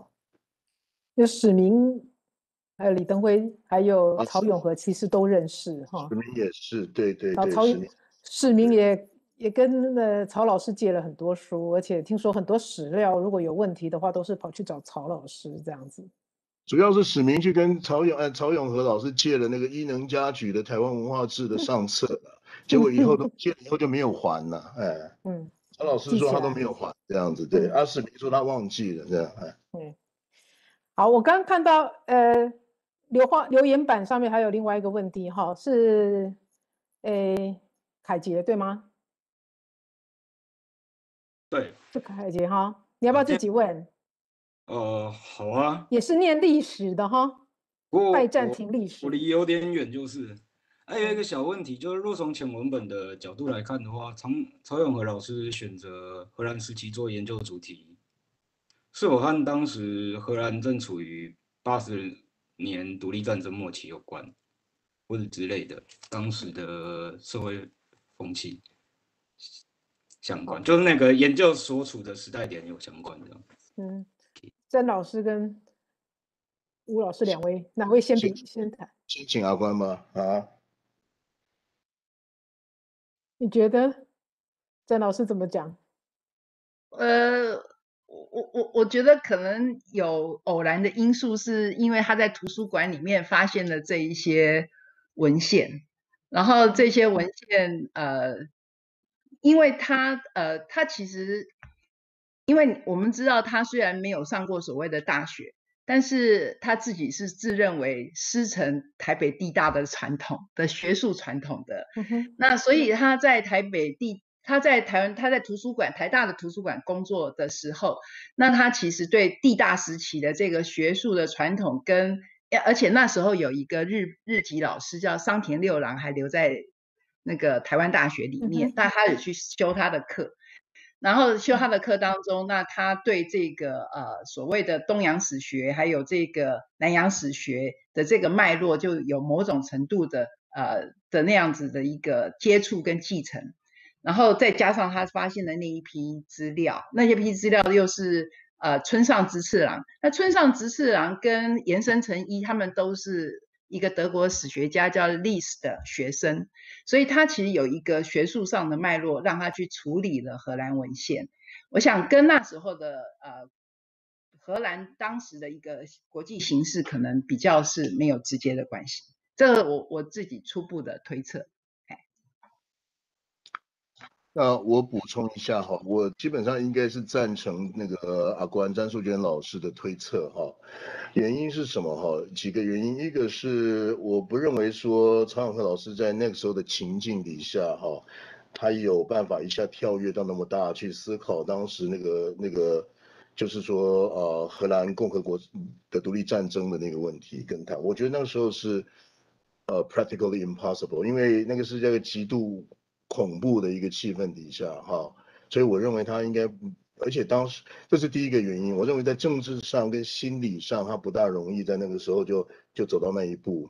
第二个可能是更重要的因素，我认为说曹老师是一个非常典型的，我称为实证史学家。实证历史学家有一个很大的特色是证据到哪里，史料在哪里，我就讲到哪里。所以我认为曹老师会走到那条路，很大部分跟当时台北地大留下来的那一批史料有很大的关系。那一批史料引导他走向什么呢？大家知道，所谓南那个南方的研究，其实基本上就是大航海时代。所以说，他等于是说走到那个阶段，是那个史料引导他往那个方向走。在那个之前，他并没有去预知最终他会走到什么地步这样子，所以我认为这个是一个，他是一个非常正统，就这个意义而言，他是一个很正统的实证史学家了哈，我是比较这样认为。啊，但是我们现在这个年纪年年代哈，您提这个，你就是提这个题目非常有意义，因为呢，呃，二零二四年是不是是荷兰统治台湾的什么四百年的？四百年。对对对，事实上，台湾那大家知道，台湾现在这个有一部有一些人在正在准备做各种各样的纪念嘛。那在魏德胜魏德胜导演正在拍很大的那个台台湾人的三部曲，就是要纪念那个年代哈。然后另外就是说，奇美跟魏德胜在合作，他们要去纪念这个所谓四百年。换句话说，台湾人第一个祖国荷兰哈，对，然后领有台湾四百年啊。这里面呢，在这个时代，他们来邀请中研院跟他们合作。的时候，我们讨论过程中就有就有纳入了。我当时提出来的，为什么我们这时候应该来纪念当时荷兰领有台湾四百年？其中一个因素就是当时的荷兰就是那个就是那个独立战争后的那个好的一个一个，所以跟台湾现在的状况是非常可以呼应。那我的感觉，所以你刚刚就提这个问题，我就很想笑哈。我的意思说，这个是一个很当代的问题了，你懂我意思吧？那我们没有办法把我们当代的一个呃当代的那个 concern，把它放回到一九五零年代的曹永和的身上。我的意思是这样的，您知道我的意思吧？哈，对，所以我的推测是应该是一个史料引导出来的一个偶然了，这样子。但是后来得得到了很大的很有意义的成果，是真的，哎，这样子，因为它整个开创了海洋史观点的台湾，或者一般我们在八零年代在讲叫。从世界史的角度看台湾史，这个是一个革命性的东西啦，因为我们习惯从中国史角度看，也就是从从从大陆帝国角度看这样，所以曹老师最初可能没有想那么多，但是最终他打开了一个巨大的一个一个 horizon 出来这样子。嗯，对，也许我们在这里也可以再补充一下哈，我们今天呃这场演讲是呃我们呃。系列活动的呃第一场哈，呃，我们这一系列的活动也叫做台湾新坐标岛，哎，对不起，台湾重定位岛屿新坐标。那我们的呃这个系列的一个隐藏的一个目的，就是呃，我觉得我们以前是呃从小的时候的教育是从中国史的角度来看台湾，我们。过去从曹老师以来，也大家也从台湾的角度来看台湾史哈。那我们应该在进一步发扬的，其实就是从曹老师的一些呃文章跟论述来看的话，他其实还有一个更宏大的一个一个思的一个视野哈，就是把台湾放在世界史、放在历史的时间里面、放在地理的空间里面来看台湾。我觉得这是我们很希望，呃，在接下来，呃，在我们陆续推出的活动中，继续跟海外所有的台湾人一起来探讨的一个一个方向哈。那呃呃，二零二四是一个很重要的年代。那我希望就是说，我们呃，大家从现在开始到这个年代，大家一起来一起来关心，用一个尝试用更更更宏观的角度。来看台湾的这个发展，我想这个也会帮助我们现在的运动，帮助我们现在怎么样去推展我们要呃推展的社会运动跟社会改革。我们办活动一定不是只是为了大家很高兴这样而已哈，我们一定有我们一个隐藏文本在后面，就是希望我们有一天可以去把台湾建设成一个我们大家觉得幸福的地方。好，除了保护我们自己的生活方式。去建立一个我们觉得很幸福的一个国家，是不是？还有其他的人要发问？我我我我想讲到这边的话，我刚好很想要分享一下我昨天看到的一个呃一一段那个录影带哈。嗯，红学，你现在那边手上可以放这个录影带吗？哦，可以。这这这已经蛮红了哈，但是我们我我现在想。也许就是在我们今天座谈到这个时候的话，我想跟大家分享一下。等一下，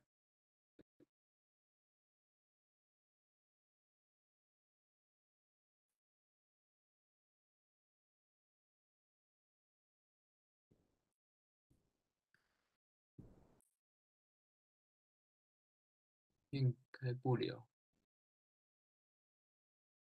还没有办法吗？呃，稍等一下。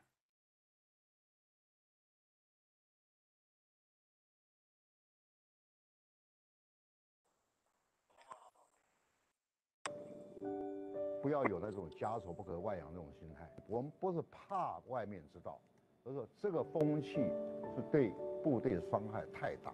我倒不怕讲说这哎呀上了报了难难看了，我想这个难看比未来。闹大了以后那难看，那要好得多。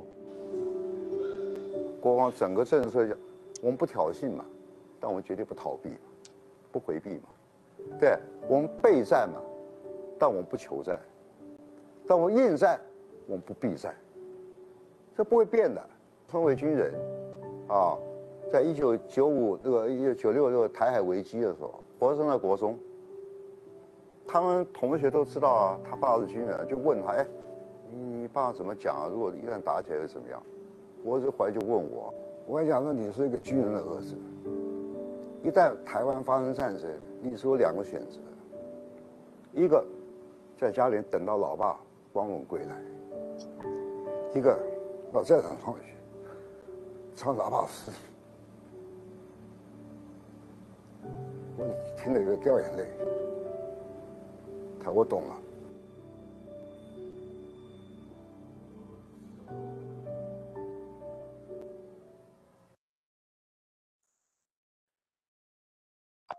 这个影片的话，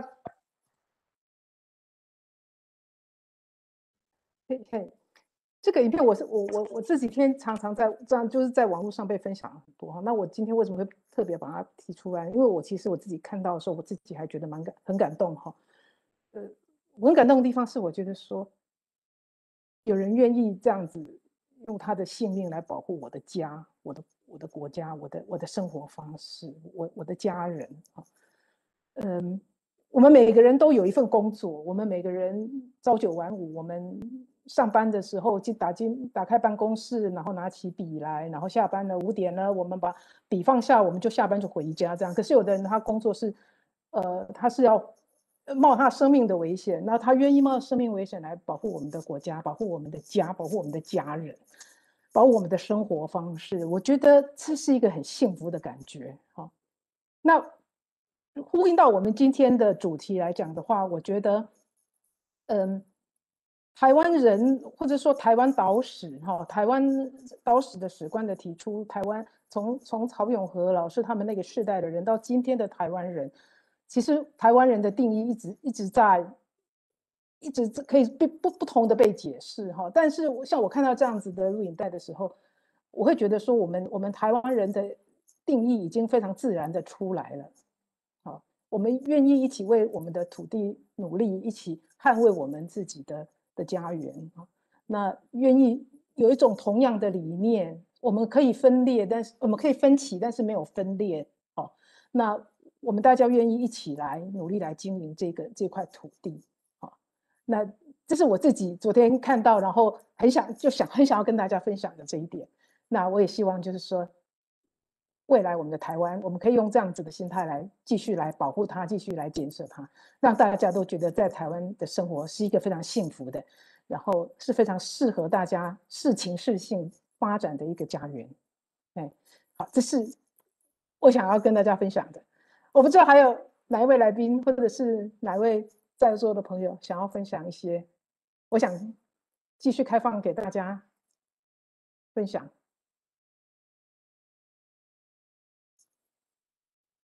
好。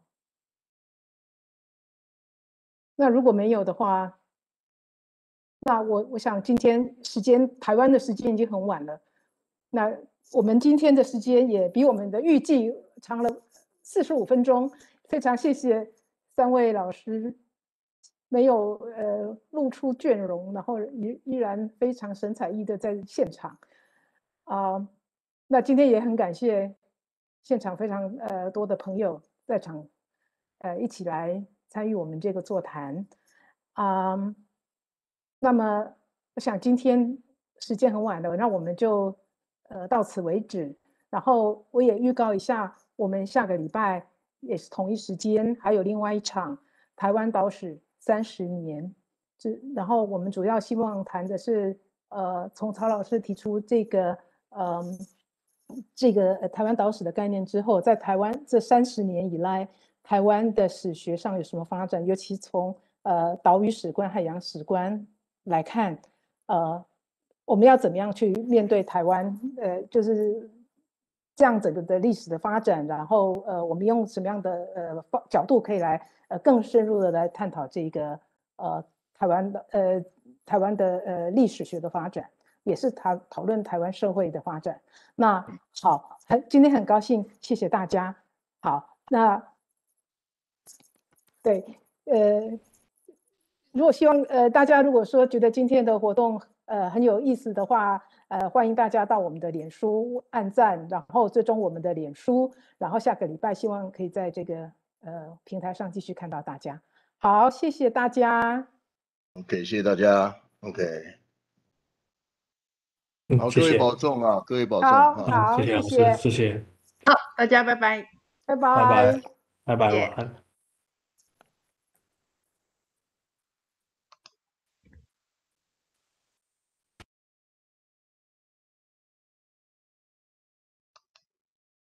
还有人要聊天的吗？嗯。对啊。